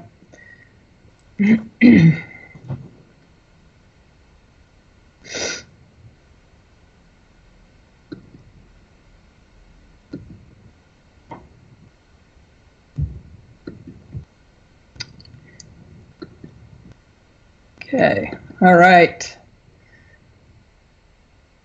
A minute. Uh, of course, I'm not at the beginning. Hold on just a minute. um, don't worry, don't worry. Sure. Let me try one more time here. Um, so, while I'm getting set up here, I'd just like to thank everybody so much for inviting me. Um, I, I, need to acknowledge the incredible thinkers that um, have gone before me in your presentations. Um, it's really so, so powerful. Um, so, you know, one of the things about a practice, I think, is how to keep it uh, relevant, right? Um, it's very easy to think of a practice led by a man like Laurie Olin um, as sort of coming and kind of going with him when he retires. And one of the things that I have brought to the practice is really this this need to keep inventing, the need to um, bring forward the next generation of thinkers. Um, I'm very involved in the Landscape Architecture Foundation and the Transformational Leadership, the Fellowship. Um, this is something that is near and dear to my heart because if we don't invest in the next generation and bring them forward, um, this is um, kind of death for the profession. And so it's something that I am personally deeply committed to. Um, so um, I teach at the University of Pennsylvania as well as practice um, at Olin. And what I really like to talk about are perhaps um, four things in, in our work. and there are four action items. Um, I should, for those of you who don't know, we are a practice of about 100 individuals located in Philadelphia and Los Angeles in the United States. And we do work internationally, um, but primarily within the United States. So here's here are some of the things that I'm thinking about um, and was even thinking about well before the pandemic. The pandemic simply underscored the significance of public space in the broadest sense. You know, we it is where people have come together with the appropriate social distance. So do research. Um, Olin is committed to doing research. We are committed to practice based research. So, um, Ricardo, when you opened up, you talked about the need for international communication, you talked about education, and you talked about practice. I have to say, one of the things that Olin has experienced is this gap between practice and education. It seems like all the innovative ideas are in practice, are in, in education, and when people come into practice, the world moves a little bit more slowly. Um, and so, one of the things we have done is, to try to overcome this is to establish Olin Labs. So, advancing the practice of landscape architecture through research, development, and education. and it took us a really long time to make this diagram, but um, so the circle on the middle is about education within Olin, how we keep our information and knowledge building and shared across the studio. The next ring is development. It's where we create new tools and processes to enhance our workflow. And then the external ring is what we call the big R research. Um, these initiatives are focused on original knowledge creation. Um, and around the outside of this diagram are um, five labs um, that we have established. People Lab, Build Lab, Eco Lab, Tech Lab, and Design Lab. Um, and this is so important to us um, as a way to close that gap between the academic world and the world of practice. This is just one of the several projects that's going on um, within Olin Labs now. It's called the Soilless Soil Development. So sand is being depleted throughout the world at a very rapid rate. Um, and we have innovated this idea of using recycled glass instead of sand in the manufacture of soils. Um, and we have set this up as a research project. Um, we have other research projects that are underway.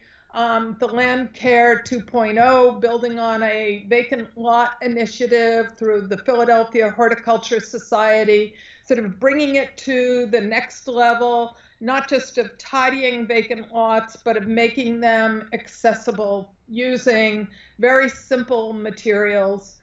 Um, we're starting a new initiative, and I sort of you know, several of you have talked about the fixity of institutions and how hard it is to move them.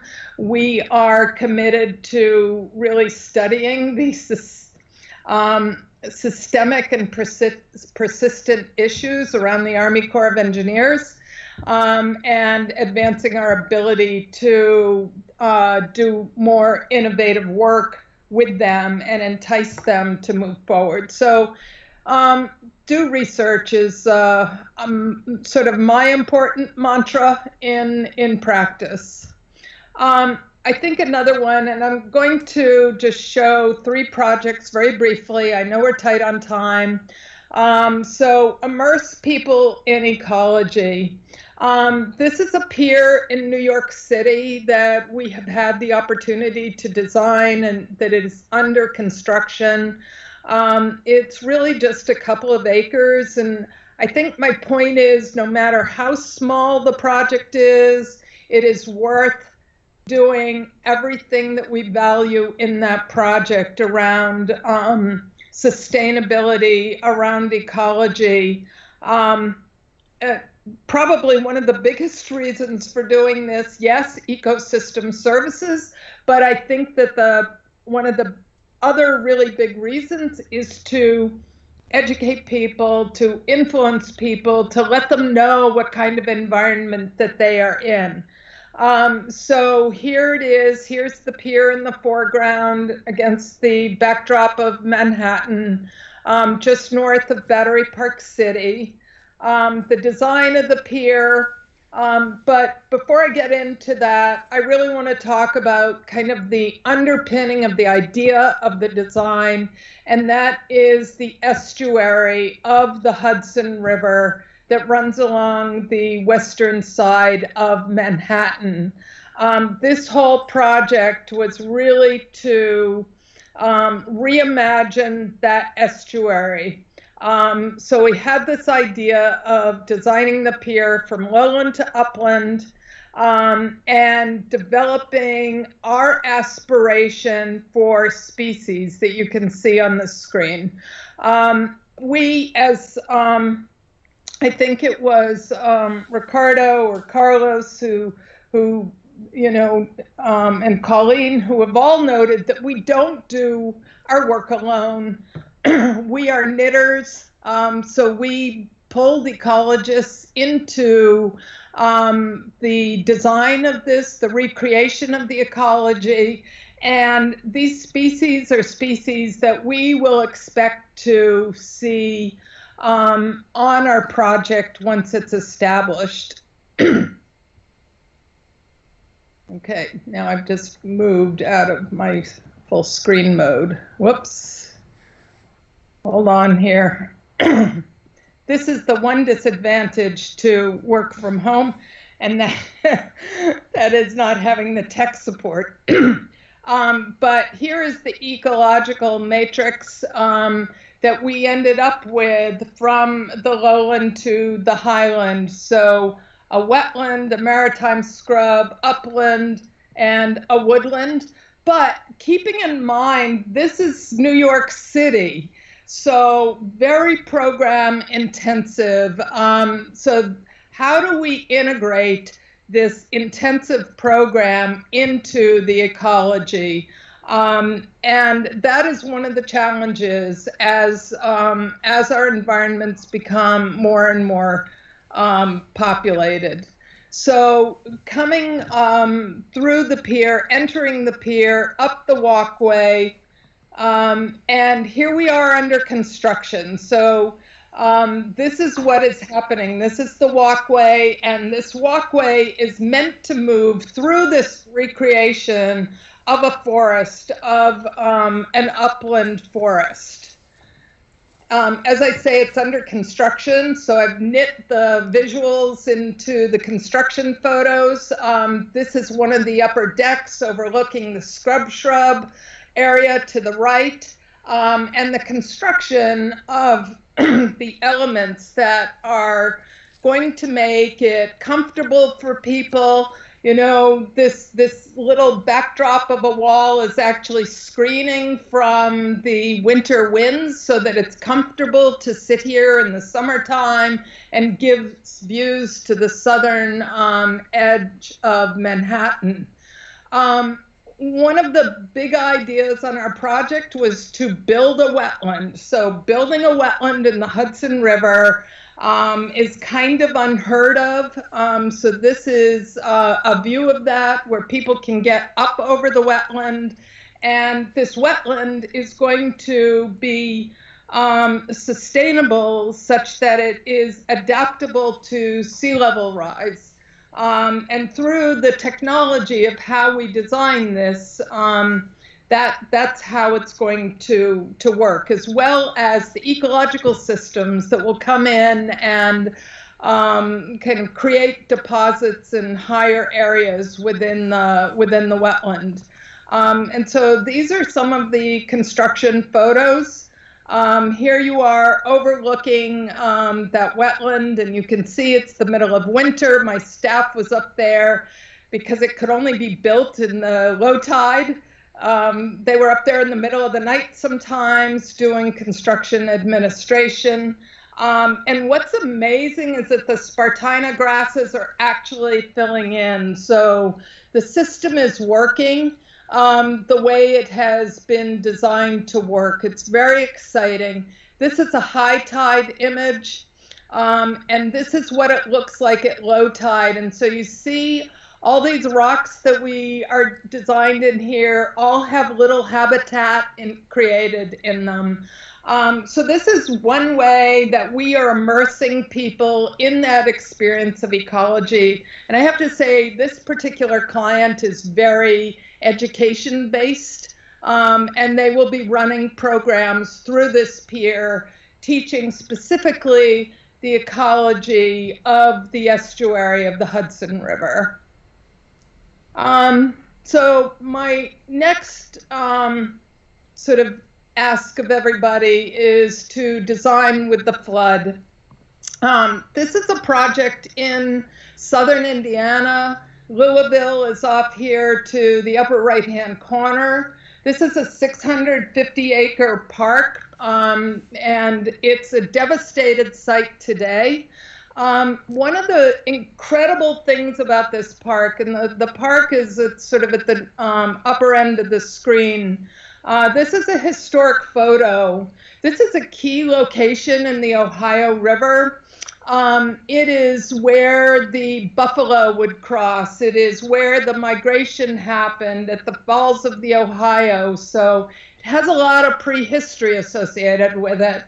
Um, and but it has not stayed quite so pure over time. So it's a key location. Um, but you see this little dark spot here along, this is the Ohio River, this is Louisville, and this is this dark spot.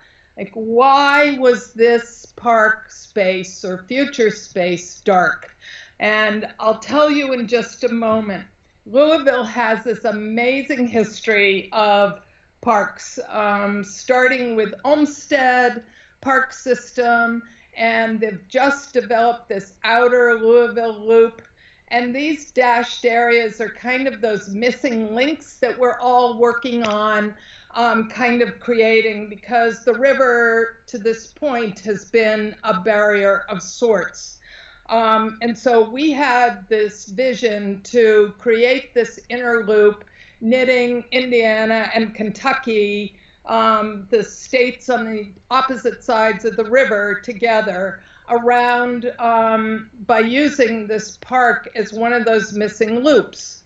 Um, there are towns uh, surrounding Louisville, these towns.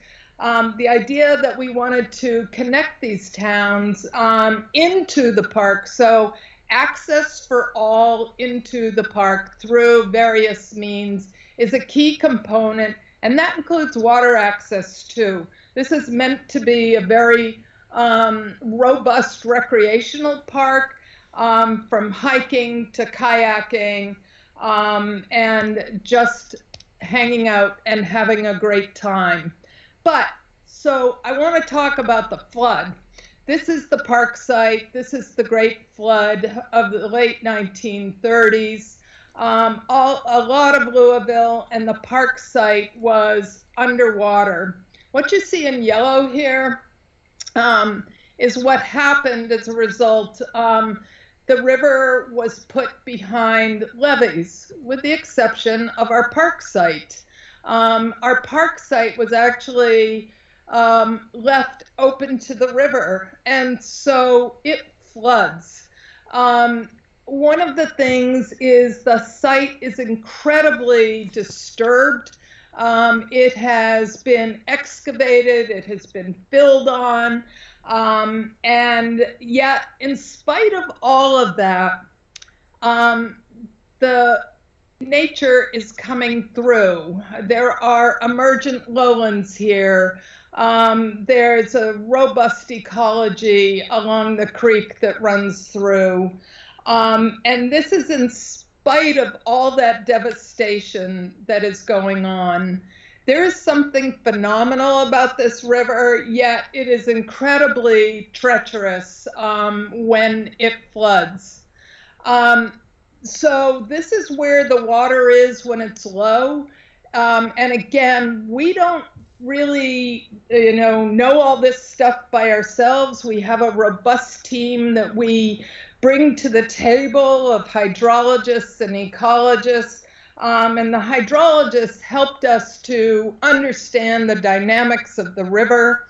Um, we did a lot of, you know, as Colleen says, just call people. And we called everybody and pulled information together. And the Army Corps has a very heavy hand in what goes on in the river because all of those wonderful flats that people crossed on up here. Um, the river has now been channelized. It has floodgates. It has um, electric uh, plants that um, that operate, um, and because the Army Corps honors the navigation the most, it is probably their their their primary focus is the safe navigation of ships through here. Um, but this little site off to the left, um, which is our park site, um, really uh, suffers from massive flooding. Um, this is the low level, and this is one of the highest levels, so 35 feet higher. Um, and one of the things that we did was to make this park accessible through almost the most extreme floods. So people can still bike in there, they can drive in there, and not be subject to the dangers of the floods. Keep in mind, it's all sitting outside the levee, when waters come up to the levee, the park will be closed then, but we've made this park a place to be even in flood events. This started to inform how we thought about ecology, how we protected it, how we enhanced it. Um, so we are committed to protecting 250 acres of urban forest, creating 150 new acres of meadow and savanna, and 50 new acres of urban forest. So this is a strategy for us. But again, keep in mind, this is for people, and so designing these spaces in the midst of ecology and flooding um, was one of our challenges, and this is just a um, diagram of the program areas. Um, we are committed to um, saving these emergent lowlands and nurturing them into um, into a more robust forest. Again, keep in mind these lowlands flood every year. Um, so at some point throughout the year, they're always underwater. We imagine our design intervention here is a very light touch um, to protect that ecology. Um, there are quarries, and we are imagining a restored quarry um, waters that people can um, access through kayaks and paddle boats. Um, there are industrial meadows that are um, that are um, imagined uh, restoring these very disturbed lands where the dumping has occurred.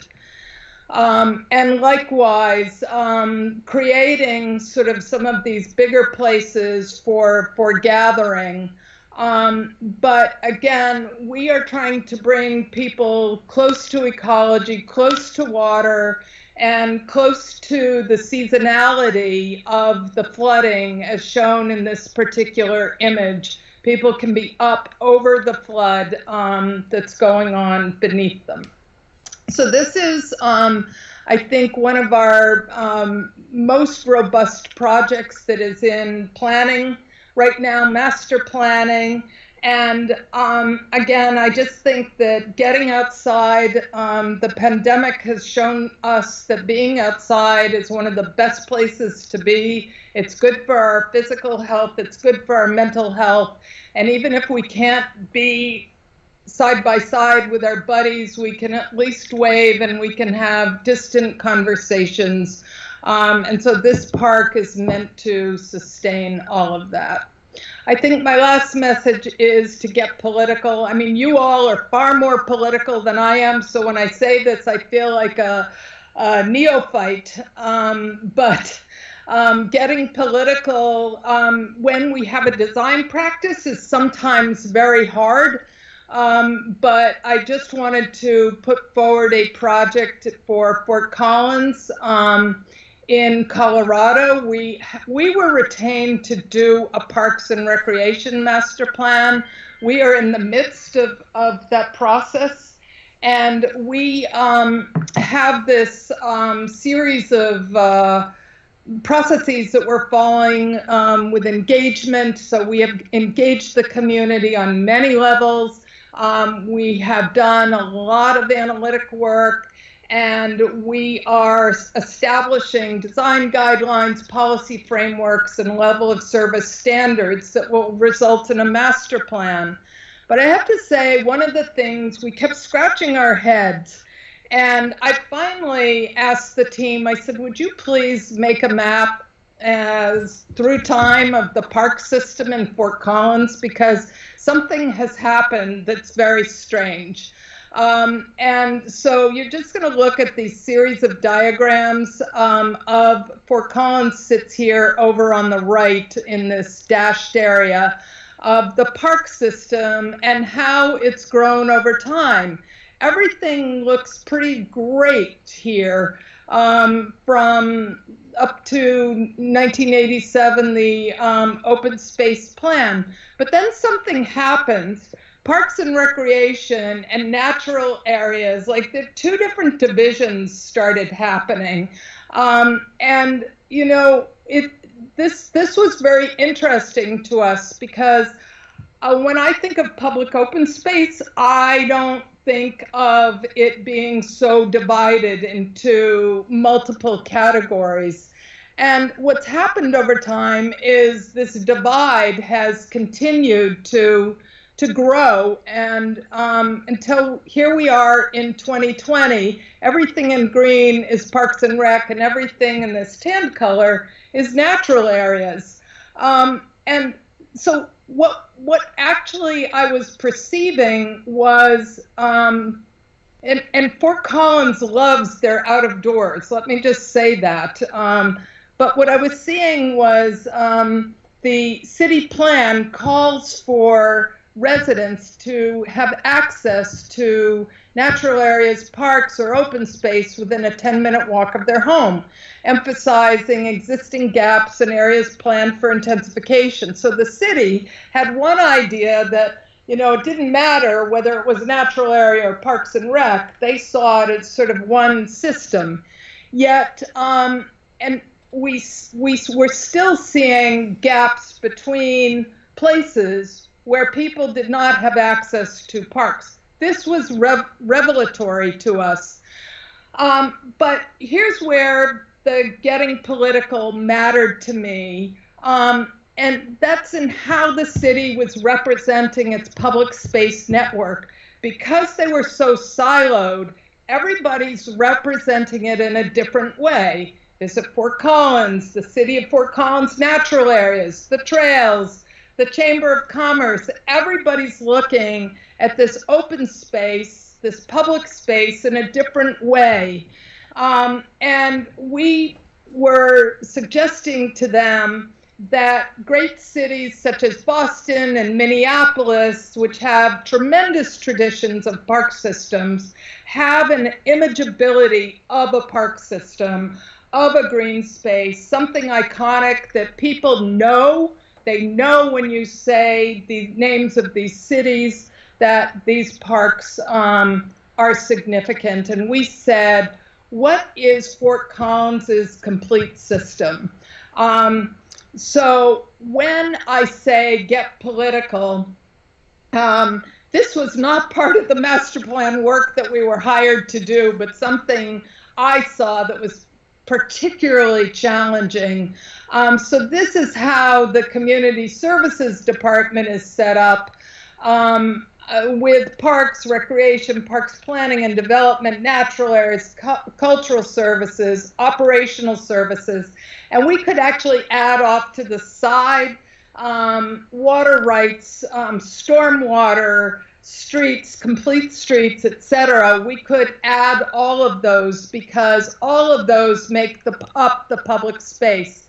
And we told them, we showed them this diagram. We said, sometimes when we talk to you, it feels like this. It feels messy and it feels unclear. And how can anybody think of a holistic vision if you're not thinking under one umbrella and one imageability? And so we put forth this public space vision for them to think about um, and to coalesce the power of each one of these individual groups that was having something to say about public space. Um, and so this was a game changer. I have to say, we just presented to the city council, and the mayor was so on board. He's like, yes, this is important. Um, and I feel like we had a victory. But again, it's not what our it's not what we were hired to do. What we were hired to do was to establish some goals and do a parks and recreation master plan, which now we can do now that we've kind of got everybody on on that right track. So I just want to leave um, you with do research, immerse people in ecology, design with the flood, and get political. Thank you very much. Bello. Oh my God. Oh my Bello. God. Thank you very much, Lucinda. This was a masterpiece. Thank you. Uh, education and practice, laboratories, uh, immerse people in ecology. Wow. Uh, design the flood, design with the flood, design with nature. No? Yep.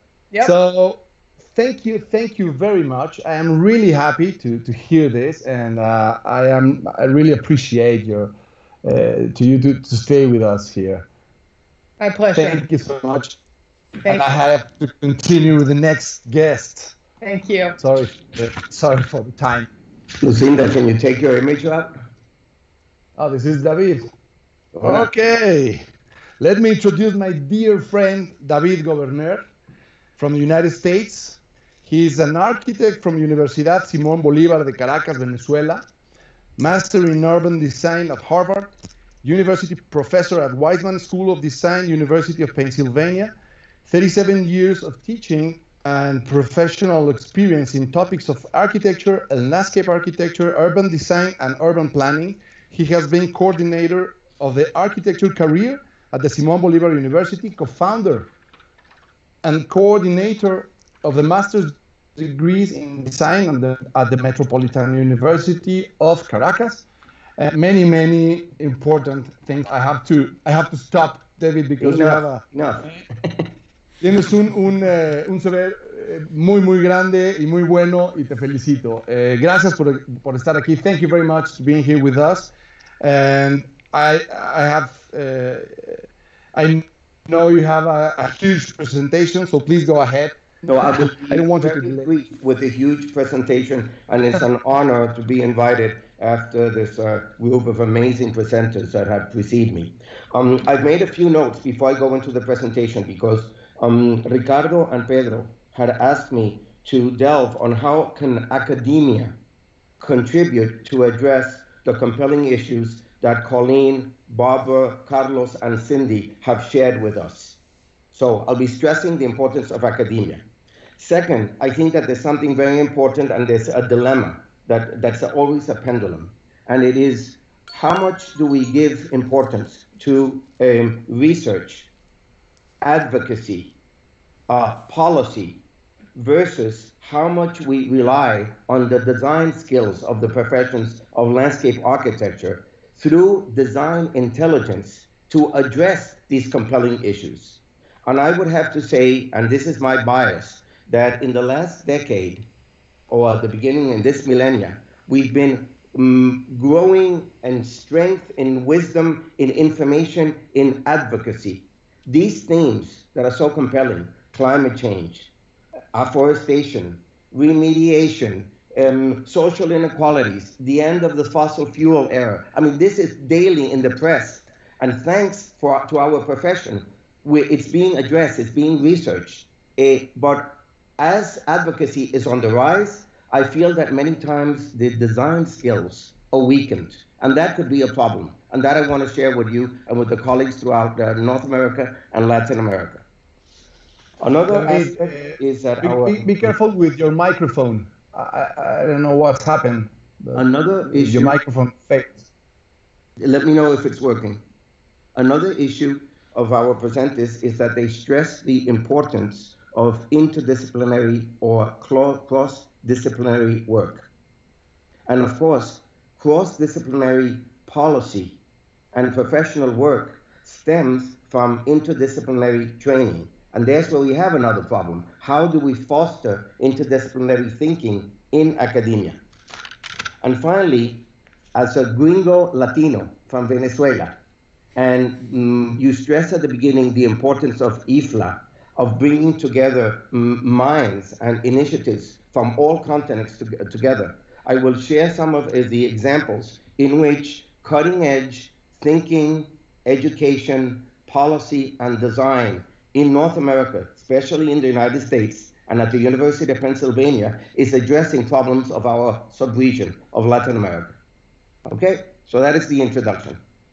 Uh, as many people have mentioned already, the pandemic already mm, mm, made further evidence of the social and environmental challenges of our region. But also, it's a very malleable and resourceful uh, mm, uh, continent. Um, and this has been said a billion times, zillion times, that at periods of unusual events, like the, the, the pandemic, but also of uh, conflict, of um, being impacted by forces of nature, they're the best opportunities for introducing new approaches and seeding the change that we're seeking. And of course, uh, the, what the role of academia is simple: is how do we provide the tools to respond to these compelling demands, taking into account the nuances of place and culture. That's it's, it's no no special formula. That's it.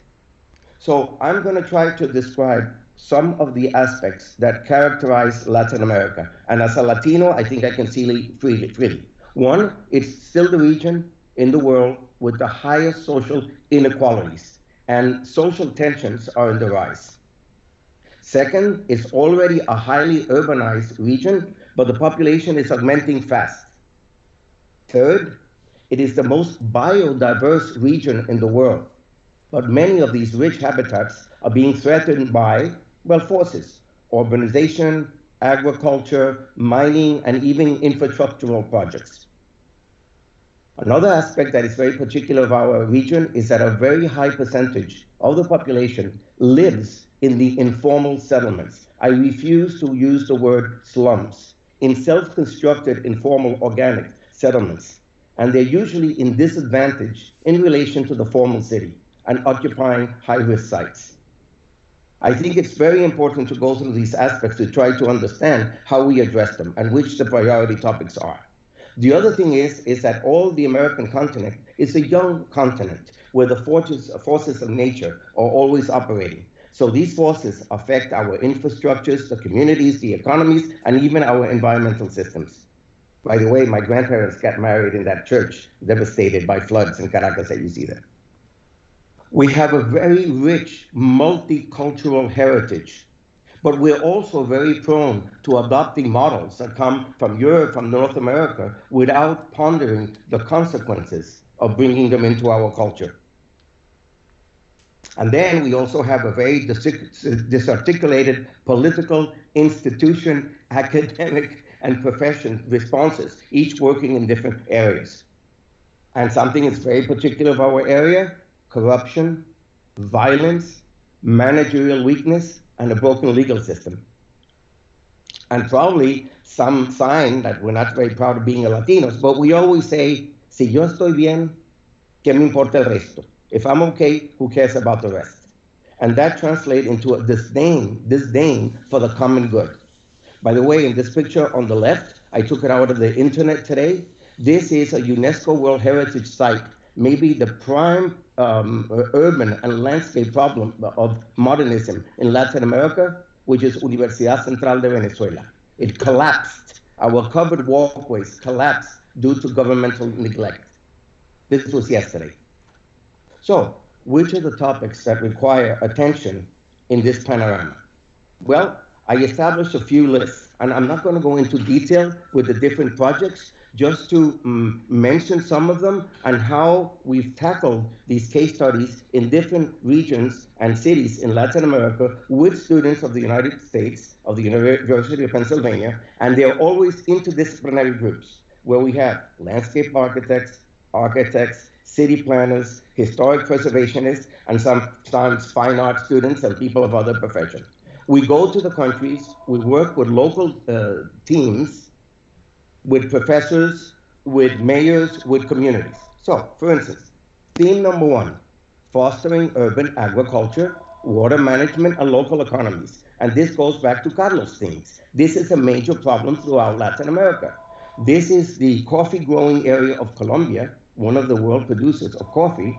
The only problem is, is that these huge areas with 147 municipalities have devastated the tropical forest to introduce coffee that is planted in, under the sun and not under the shade, with very severe environmental consequences.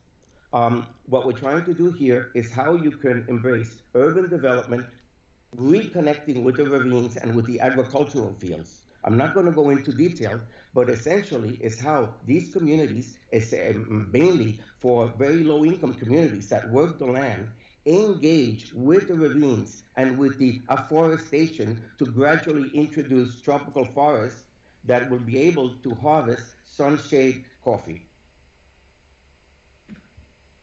In this case, also was very interesting. Instead of dealing only with coffee, and tropical forests for the coffee. It was introducing guadua, which is a Colombian bamboo, which is ideal for cleansing the streams, but it's also a great material to build with in seismic areas. This town was devastated by a quake only about 12 years ago, Circasia.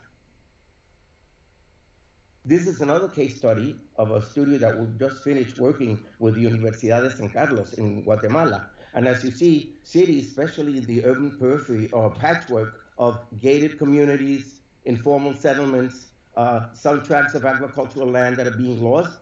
And in this case, you see a huge void in the middle. And the only reason that that void was there is that it's one of the few public properties in the entire country. This is a major problem, problem in Latin America. Most of the land is in private hands. So when we have public properties like this agricultural school, this is a great opportunity to foster better agriculture and connect it to urbanity. We can't think of sustainable agriculture if it's not tied to the communities, if it's not tied to urbanity. And Carlos also dealt on this. So these are some of the examples on how we work on it. So we combine environmental aspects, agricultural aspects, urban design aspects, uh, lots for self-construction, special services buildings. Again, all the variables are interconnected. This is another uh, um, uh, project that has to do with uh, forestation and productivity. It is the town of Chamangas in the coast of Ecuador that was devastated by a quake a few years ago. Now, as you see in this graphic here, the main problem of the devastation of the town wasn't the quake, is that the town was built on stilts over very soft um, sediments. And the reason that the sediments were there is that over 30 years, 85% of the mangroves had been eliminated, being substituted by uh, artificial shrimp farming. So here there's a problem of rebuilding the town, yes, fine, uh, going down to the bedrock to create the platforms to keep the population on the water. But the main problem here was a project of mangrove reforestation. Uh, this project, our advisor was Mario Schjetnan, by the way, who's an expert in mangrove, mangrove regeneration. And we can go on in different aspects. Like this case study is in Valparaiso with the fires that take place every years and with desertification and climate change. This is becoming a recurrent phenomenon. Here the problem is how do we establish a barrier between the eucalyptus plantations that should have never been there and the barrios that are built all in wood, not in cinder block and cement like in most of Latin America. In one evening, 25,000 people lost their homes about four years ago. So what do we have to do? We have to create barriers we have to provide accessibility because in these barrios without roads, not even a fire engine could come in. We will have to capture water in the rainy season to be able to use it in the dry season and so so. And we have to replace uh, the eucalyptus by non-combustible local plants. Changing topic, there's a reduction of the disparities between the formal and the informal city. And this has many takes. One of them is how we improve the existing informal settlements. Two is how do we better connect the formal and the informal city? And third, how do we guide the emergence of the new settlements? This is a major topic in Latin America that has to be addressed. We still see our schools and our politicians seeing informality of something that is illegal, that can be stopped. It cannot be stopped. It has to be addressed. It has to be fostered. It has to be helped.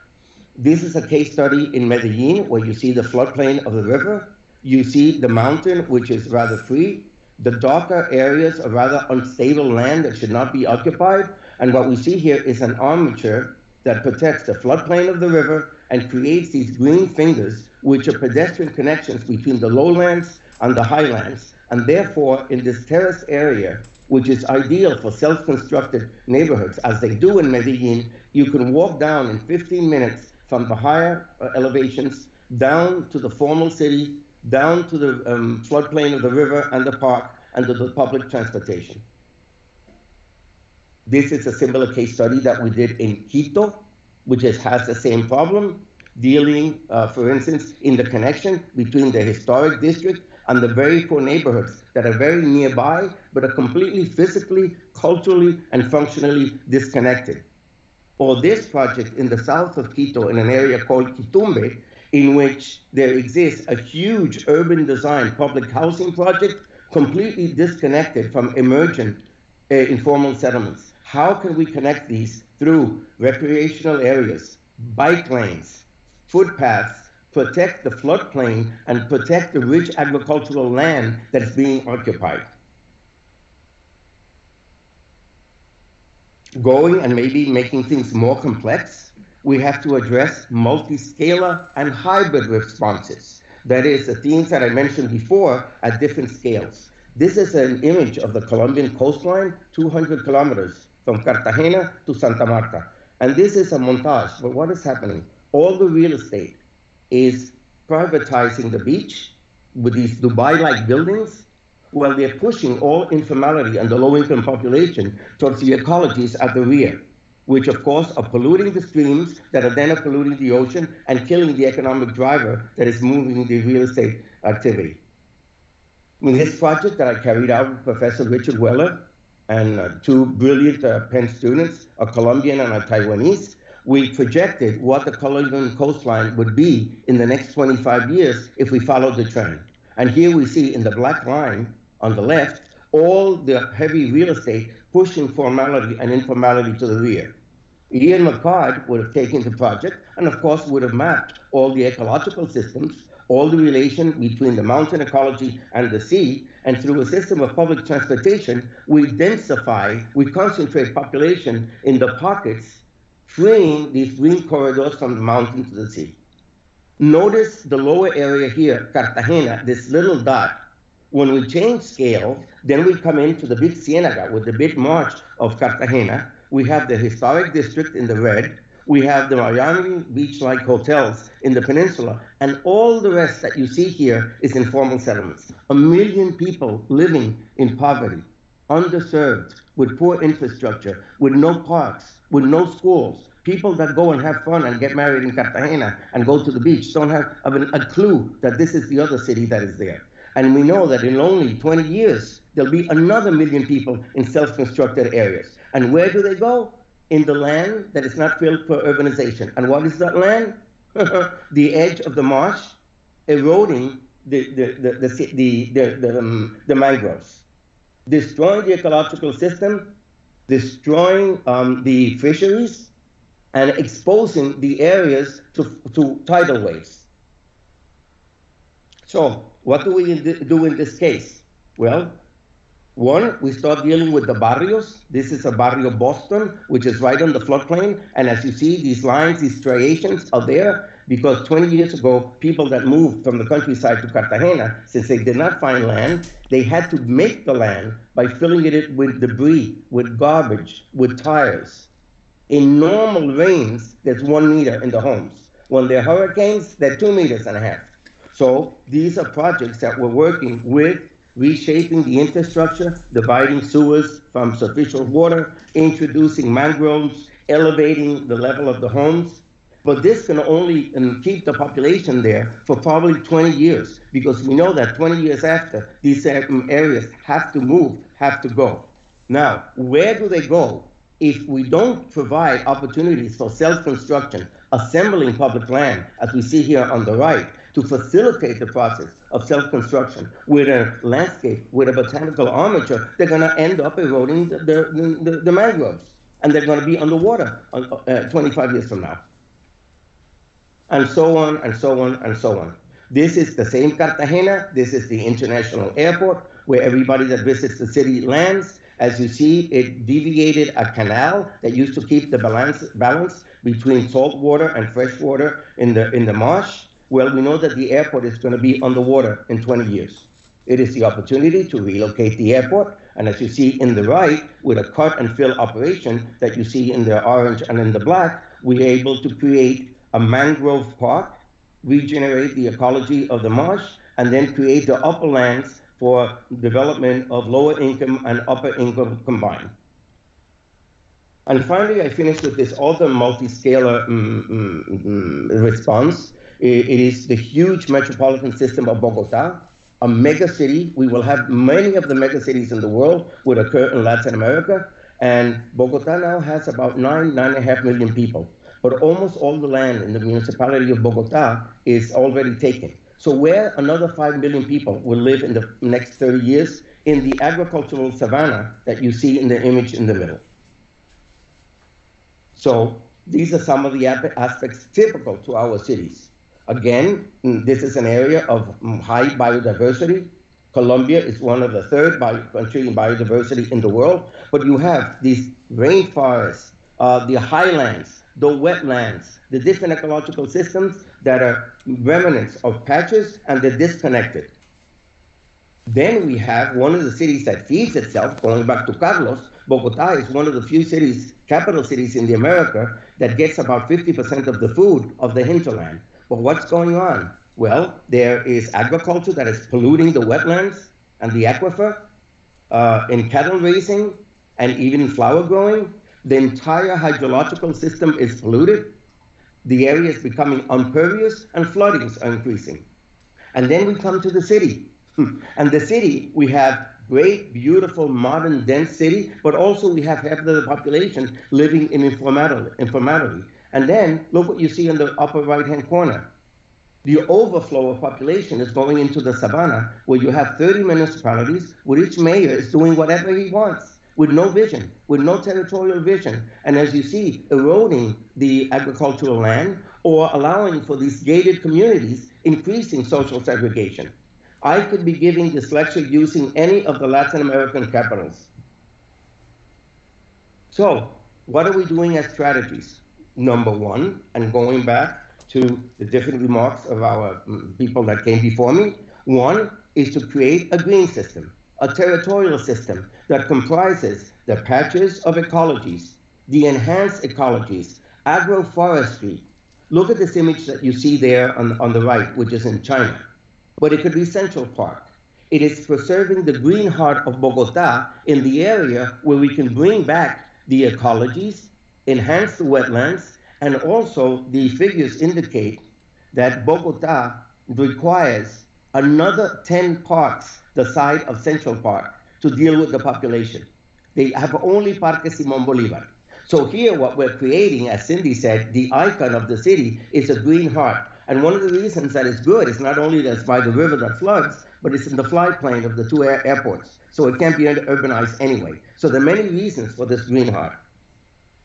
Uh, second is how do we increase the density? Here in gray is the existing city. In white, the other four or five million people. You see the green heart, and in lighter green, the protection of the area, which is the best agricultural land. That you have to kill for. But we can't do it if we don't have a system of transportation and investments and incentives to bring the, the population on that white band are not being dispersed at low um, densities throughout the system. So how are we dealing with an improved uh, agricultural, defending the rural landscape, and in the case of Bogota, which is very typical, one of the motors of the economy is the production of flowers that are being relocated next to the new airport. And finally, of course, there's the balanced metropolitan system with things that are the checklist of any sustainable city.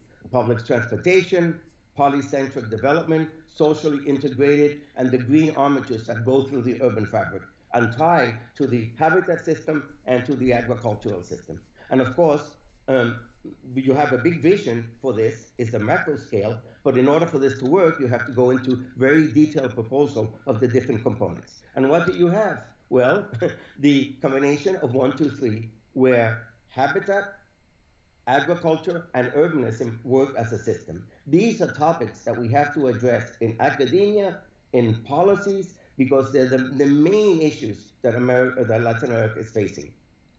And of course, the priority to be able to achieve these ideas is interdisciplinary training that will improve professional practice, community engagement, and something that beats me how we're going to do is a non-corrupt and more qualified political, political leadership.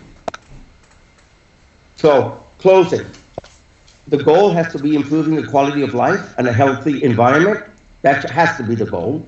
Interdisciplinary and multi-scalar efforts are badly, badly required. And we need design intelligence and planning and design through to address through the spatial organization, through the morphology, through things that landscape architects know how to do, how can we sustain the ecological, economic, social, political, productive, political, and so on processes? And finally, it's uh, good to know that although these themes may be common throughout the world and throughout our, the region, uh, there are no common, um, mm, no silver bullets. The challenges are similar, but there are no generic responses. They have to be site specific. Gracias. Bravo. Another masterpiece. Thank you very much, David. We are very, very happy to, to have your uh, uh, presentation. Uh, thank you very much. I just want to say one, one thing. I am not trained as a landscape architect. I'm an architect, I'm a city planner and urban designer. But after 20 years at the University of Pennsylvania and co-teaching with my friend and colleague, Cindy Sanders, I am the first advocate for the power of landscape architecture to address these problems. But let me tell you, most of all, you are a landscape architect. I remember you walking in the Pedregal at the university and you uh, start talking like a Humboldt or something like that. Thank you very much, David. Um, I just want to say that uh, David told me in the morning that maybe we have to plan and design more for the people in difficult conditions from now on.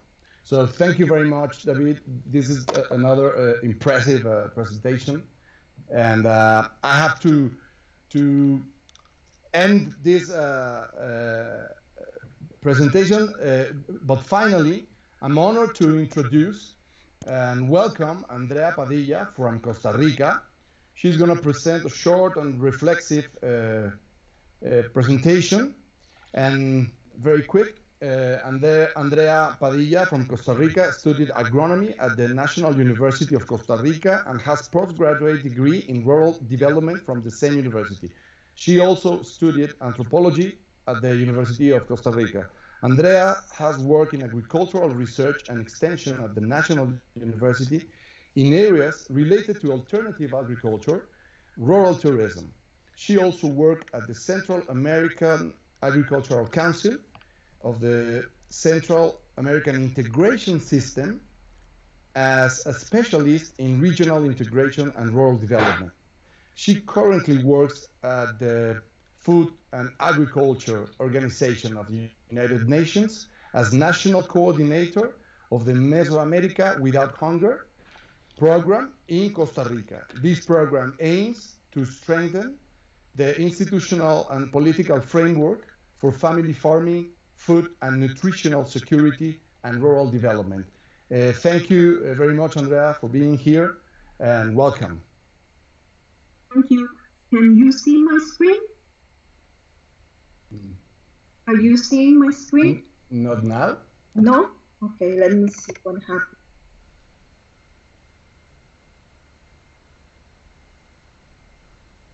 And let me say that uh, I receive a lot of WhatsApps.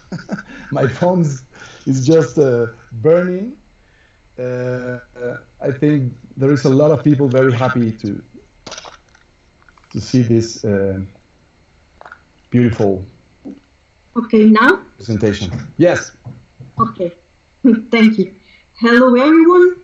Um, I will make a brief reflection about post-COVID landscapes. Uh, FAO is the specialized agency of the United Nations that leads international efforts to defeat hunger, and our goal is to achieve food security for all. I will focus on productive landscapes.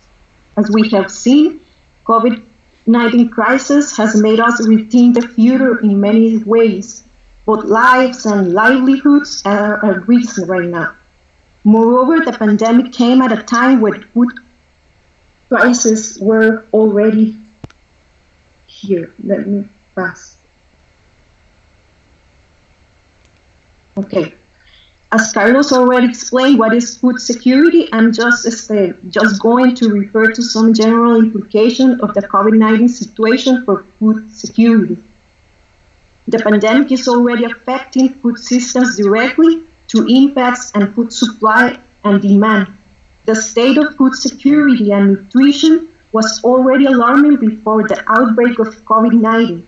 An estimated average of 821 million people was undernourished between 2016 and 2018, and most of the world's hungry people live in low income countries. These figures are expected to aggravate as a result of the COVID 19 pandemic, with the poor people living in remote areas, migrants and informal sector workers, people in humanitarian crisis and conflict areas, and other vulnerable groups likely to face the worst consequences. Also, as the pandemic slows down economies, access to food will be negatively affected by income reductions and loss of employment, as well as availability of food in local markets. Nutrition is likely to be affected as people shift diets to more affordable, as well as more shelf-stable and prepackaged foods, and as fresh fruits and vegetables become less available due to panic buying and disruption in food systems. So, what is the role of productive landscapes in food security and post COVID 19 recovery? This pandemic also raises the alarm on the urgent need to transform the world's food systems. Globally, food systems remain a driver of climate change and the planet's unfolding environmental crisis. Therefore, there is an urgent need to quickly rethink how we produce, how we process, market, consume food, and dispose our waste. This crisis can serve as a turning point to rebalance and transform our food systems, making them more inclusive, sustainable, and resilient. Silent.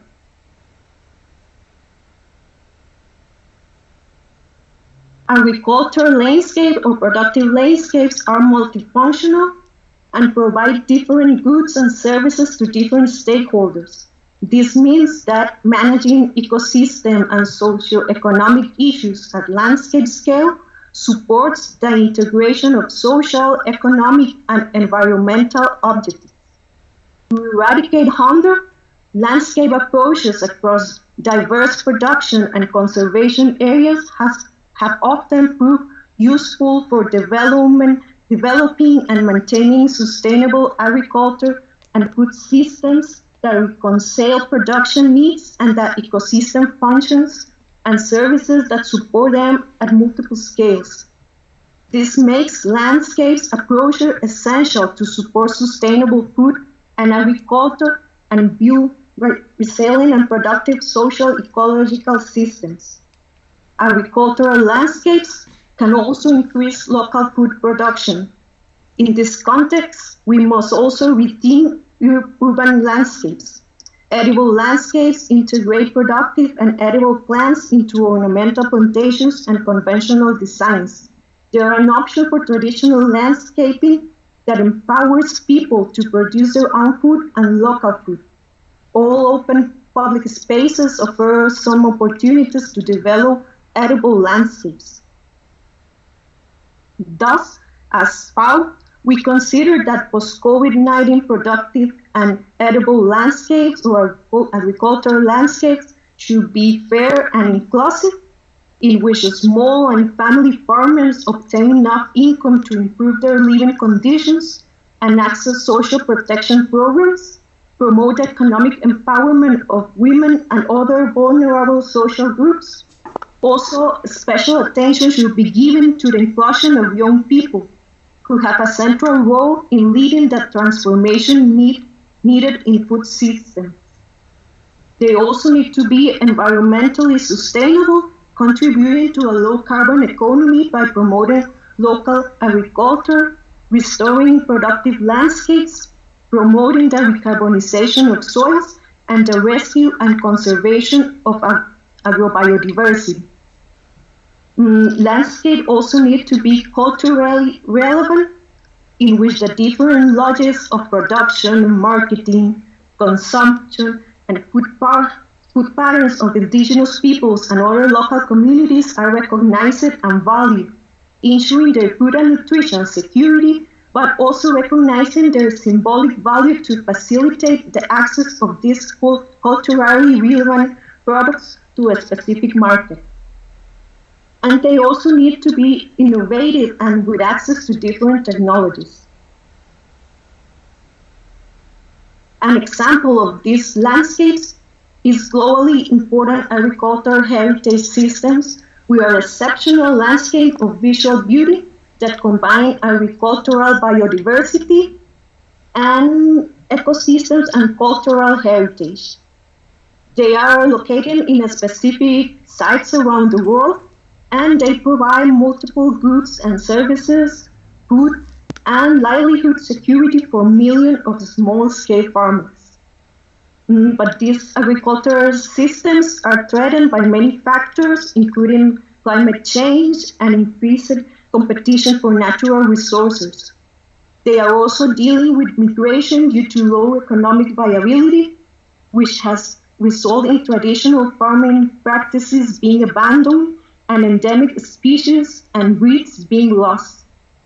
These ancestral agricultural systems established a foundation for contemporary and future agricultural innovations and technologies.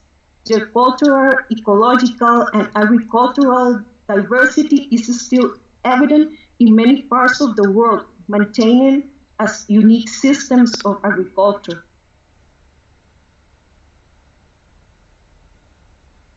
Eh, in this context, FAO is leading efforts to improve food security and nutrition through integrated approaches on the ground. These initiatives are based on the res- resilience and social equity, equality of communities and preserving the natural resources base upon which all food production depends. Important dimensions of food security, such as health and nutrition, are, are usually addressed through social policies and interventions, which are disconnected from economic and development policies. We need to improve food security and nutrition through integrated approaches on the ground, like productive or agricultural landscapes. Also, the One Health approach that means recognizing the connection between humans, animals, plants, and their shared environments in an integrated effort to reduce disease and pest threats and ensure safe food supply. Well, these were the general ideas that I wanted to share with you. Mm, it was a very short presentation. We know we can meet the challenge of ending hunger and support sustainable livelihoods of people and communities who produce food.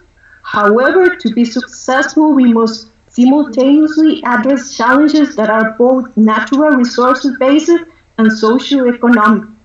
In summary, we need to accelerate, I think we need to accelerate movement toward productive landscapes that are more resilient to future pandemics and that offer better protections for all.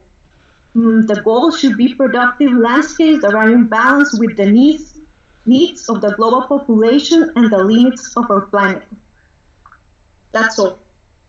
Thank you. Thank you very much, Andrea. It, it was really, really nice. Uh, not only productive, but beautiful landscapes. And uh, again, the role of productive la- landscape, you know, food security, edible landscapes, and again, agricultural heritage systems. Um, very interesting and very important, Andrea. Thank you very much. And now I'm going to pass the microphone to Gloria Ponte for the conclusion of this uh, meeting. Thank you very much. Thank you, Pedro. Uh, well, what could I say? I am amazed uh, of this uh, dense thinking. Okay, uh, I bring a warm greeting for you from Colombia, South America, specifically from SAP, our Colombian Landscape Architects Association, which is near of its 40th anniversary. It's old but small. Uh, it is a great honor for me to be in this group of outstanding representatives of several fields of our discipline, the landscape architecture. Uh, and uh, after all these uh, exciting presentations, I feel more honored even. Uh, this is a very special moment and a quite motivating experience to realize that we are shaking up and tightening our north-south or let's say English, Spanish, Portuguese relationship. The South, the richest and the poorest, as David and Carlos have demonstrated us this afternoon. It is said that, that crisis is a good presage, and we are now in the crisis of the crisis because we were already in climate crisis, but now we are in pandemic crisis. Uh, undoubtedly, this uh, global experiences is a good point to restart. It has made us to reflect in many aspects of our individual lives and also in all scales of our common life. Among other lessons, we have realized that development is not the paradigm anymore. We, from the southern part of the world, have been persistently, persistently wishing to follow the development line from the northern hemisphere. But it is time to stop. We have made a mistake. The crisis is precisely in the environmental degradation derived from our production and consuming systems that have revealed that natural exploitation is unsustainable. The easiest things are the more difficult to understand, accept, or at least remind. I keep telling my students, hey, water comes from the top to the bottom, mainly to architects who used to draw from bottom to top. As uh, Landscape uh, Architecture Foundation says, we believe in the power of design to create a healthier, more equitable, and sustainable world. And this is what we have to keep doing and with more force now and onwards. How should this design be guided? Uh, Colleen and uh, Barbara have given us responses. Um, Colleen says uh, we have to be stewards of environment and we have to inspire the change. Barbara said that we should be active designers, and it was demonstrated by Lucinda. I bring two points of how this design could be. One is the cradle to cradle philosophy, not just sustainable development goals. No, not just that, because that is focused on development neither the three R, reduce, reuse, recycle. Cradle to Cradle was an idea started in 2002 and is based on concepts, intuitive concepts, and rooted in imitating nature, or better, in an honest connection to it. It means reflective and respectful connection it is mandatory to keep this in mind before drawing the first line of a new design. My second point is, of course, education. As David said, it's my bias. I would like to renew the proposal that we join efforts towards the formation and qualification of new landscape architects in Latin America. From the 20 associations in the region, it means 19 countries plus Central American group, seven of those 20 do not have a single landscape architecture program, and six countries have just one program.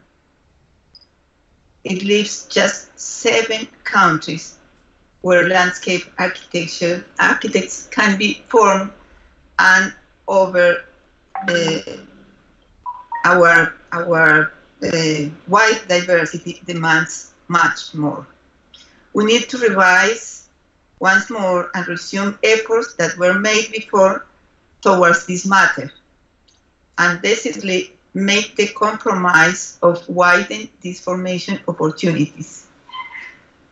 As Lucinda says, if next generation is not formed, landscape architecture profession will die. From the capacity building IFLA working group, which is part of the EAA committee, Education and Academic Affairs, I keep myself in promoting and organizing courses for educators' capacity building with the proposal of training lecturers to lead new solid schools or to improve the quality of existing ones. The northern countries have a lot to offer in this line. As well as we keep on looking at our roots and looking at our identity, uh, reminding that we are the richest but the poorest, but we have a lot to learn about, uh, uh, to learn from northern landscape architects as uh, the, the friends that um, spoke today. Then let's walk together side by side, north and south, English and, Port and Spanish and Portuguese sides of our IFLA Americas region to our common future.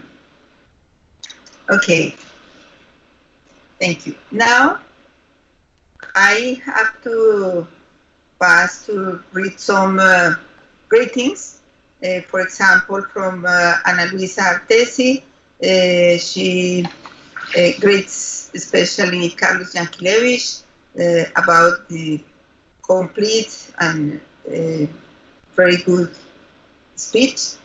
Uh, Paisaje Vivo uh, says congratulations and thanks for this wonderful encounter. Very proud of our profession. Colin Barba says very interesting work, both climate change and uh, LAF. Greetings from Buenos Aires. Gabriela Wiener, excelentes, uh, excellent conferences. Thank you. And Maria Bellalta from Boston says, uh, it is true that distance are in our imagination. The continent seems near with this encounter. And uh, mm, greetings from uh, Peru. And there is just one question uh, from uh, Megan Barnes from Washington.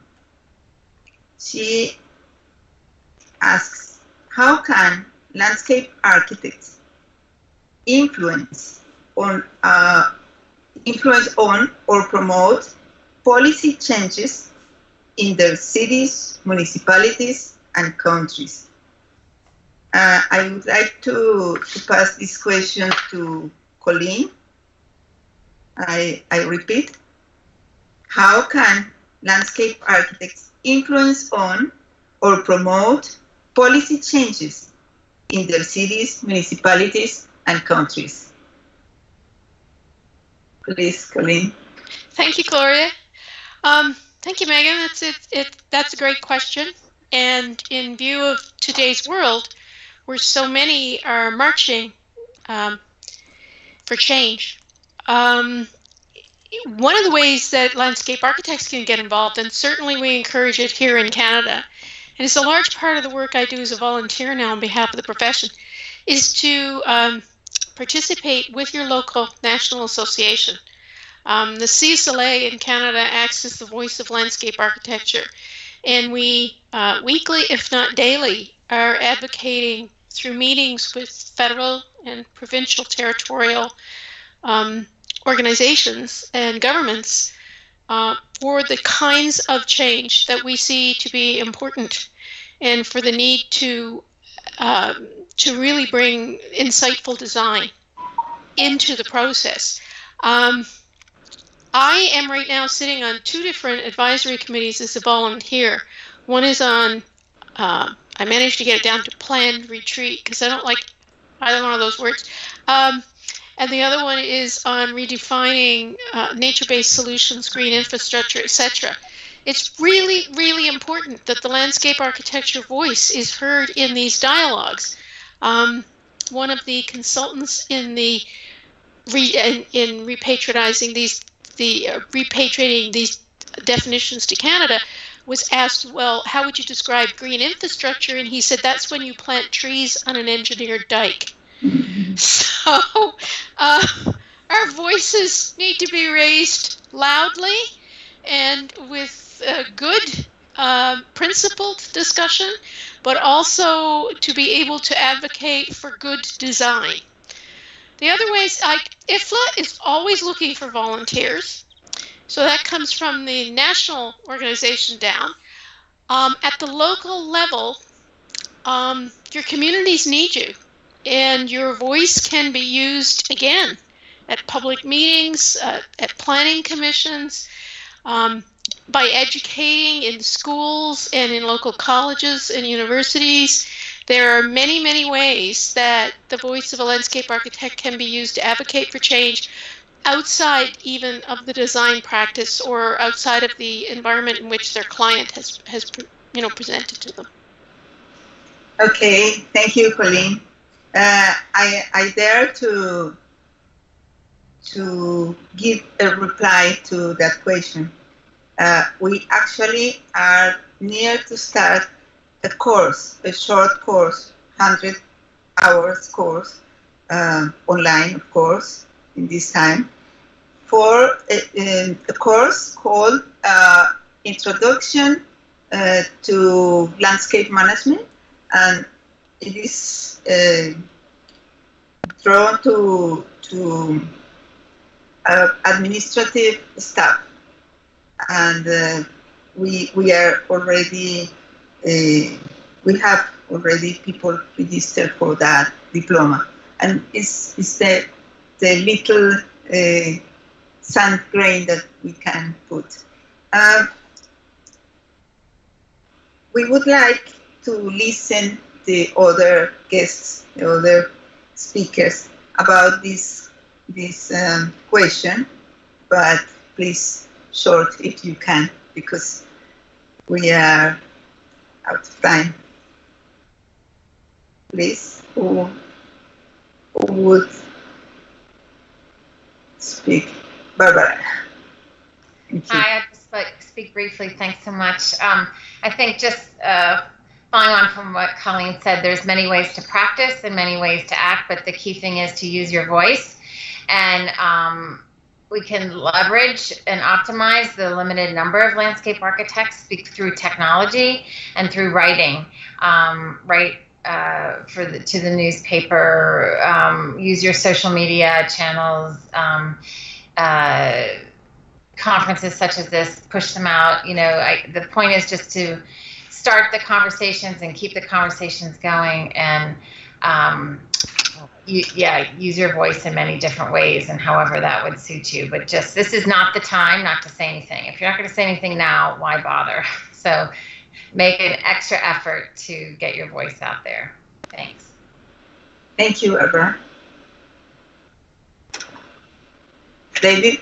Perhaps the only thing that i would add is that in a way in the line of Cindy that if our proposals, our ideas embed the political vision, if part of the design and the planning effort already um, understands what the politicians are after, how we present them in the words, in the ways that they're attractive to them, that they can be delivered in very brief times, because many times the planning and design process is not at the same pace of the political decisions, which are very quick.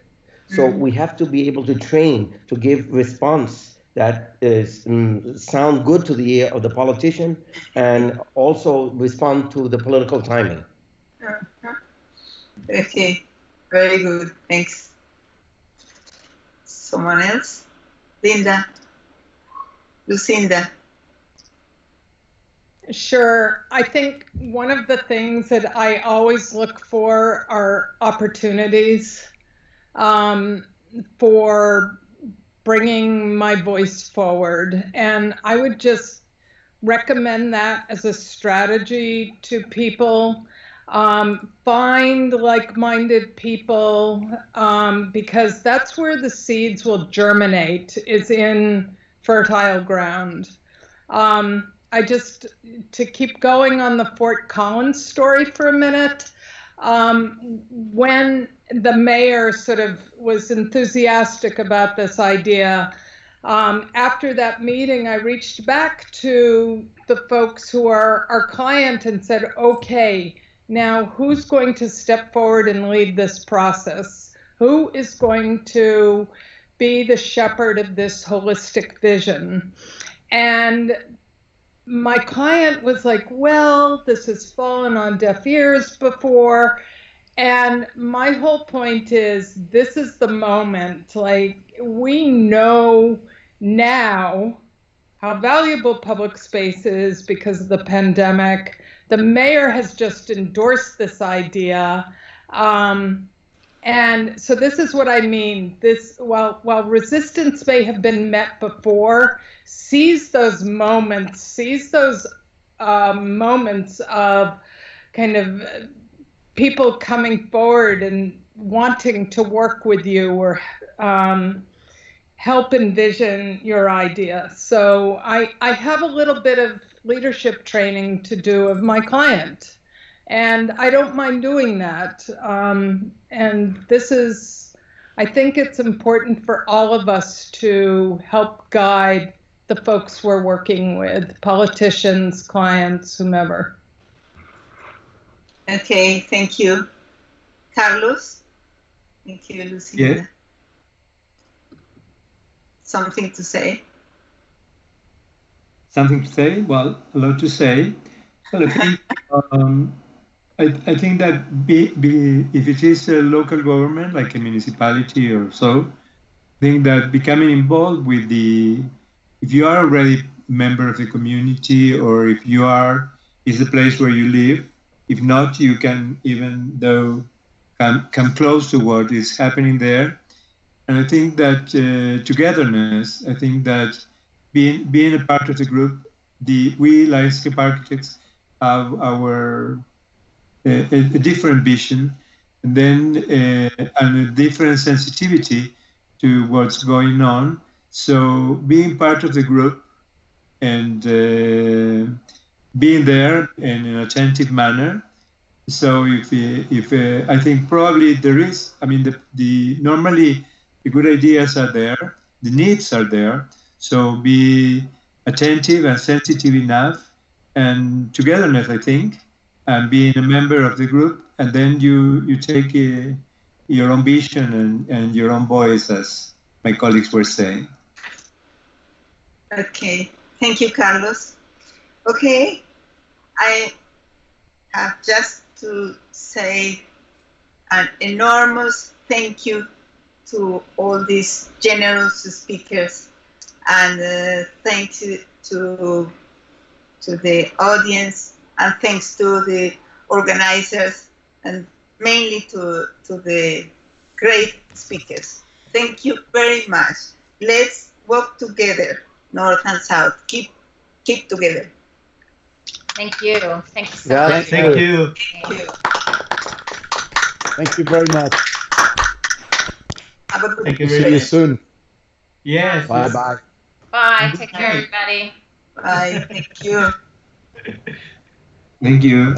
Bye. Thank you. It's hard to hang up. Nobody wants to hang up. Bye. Bye bye.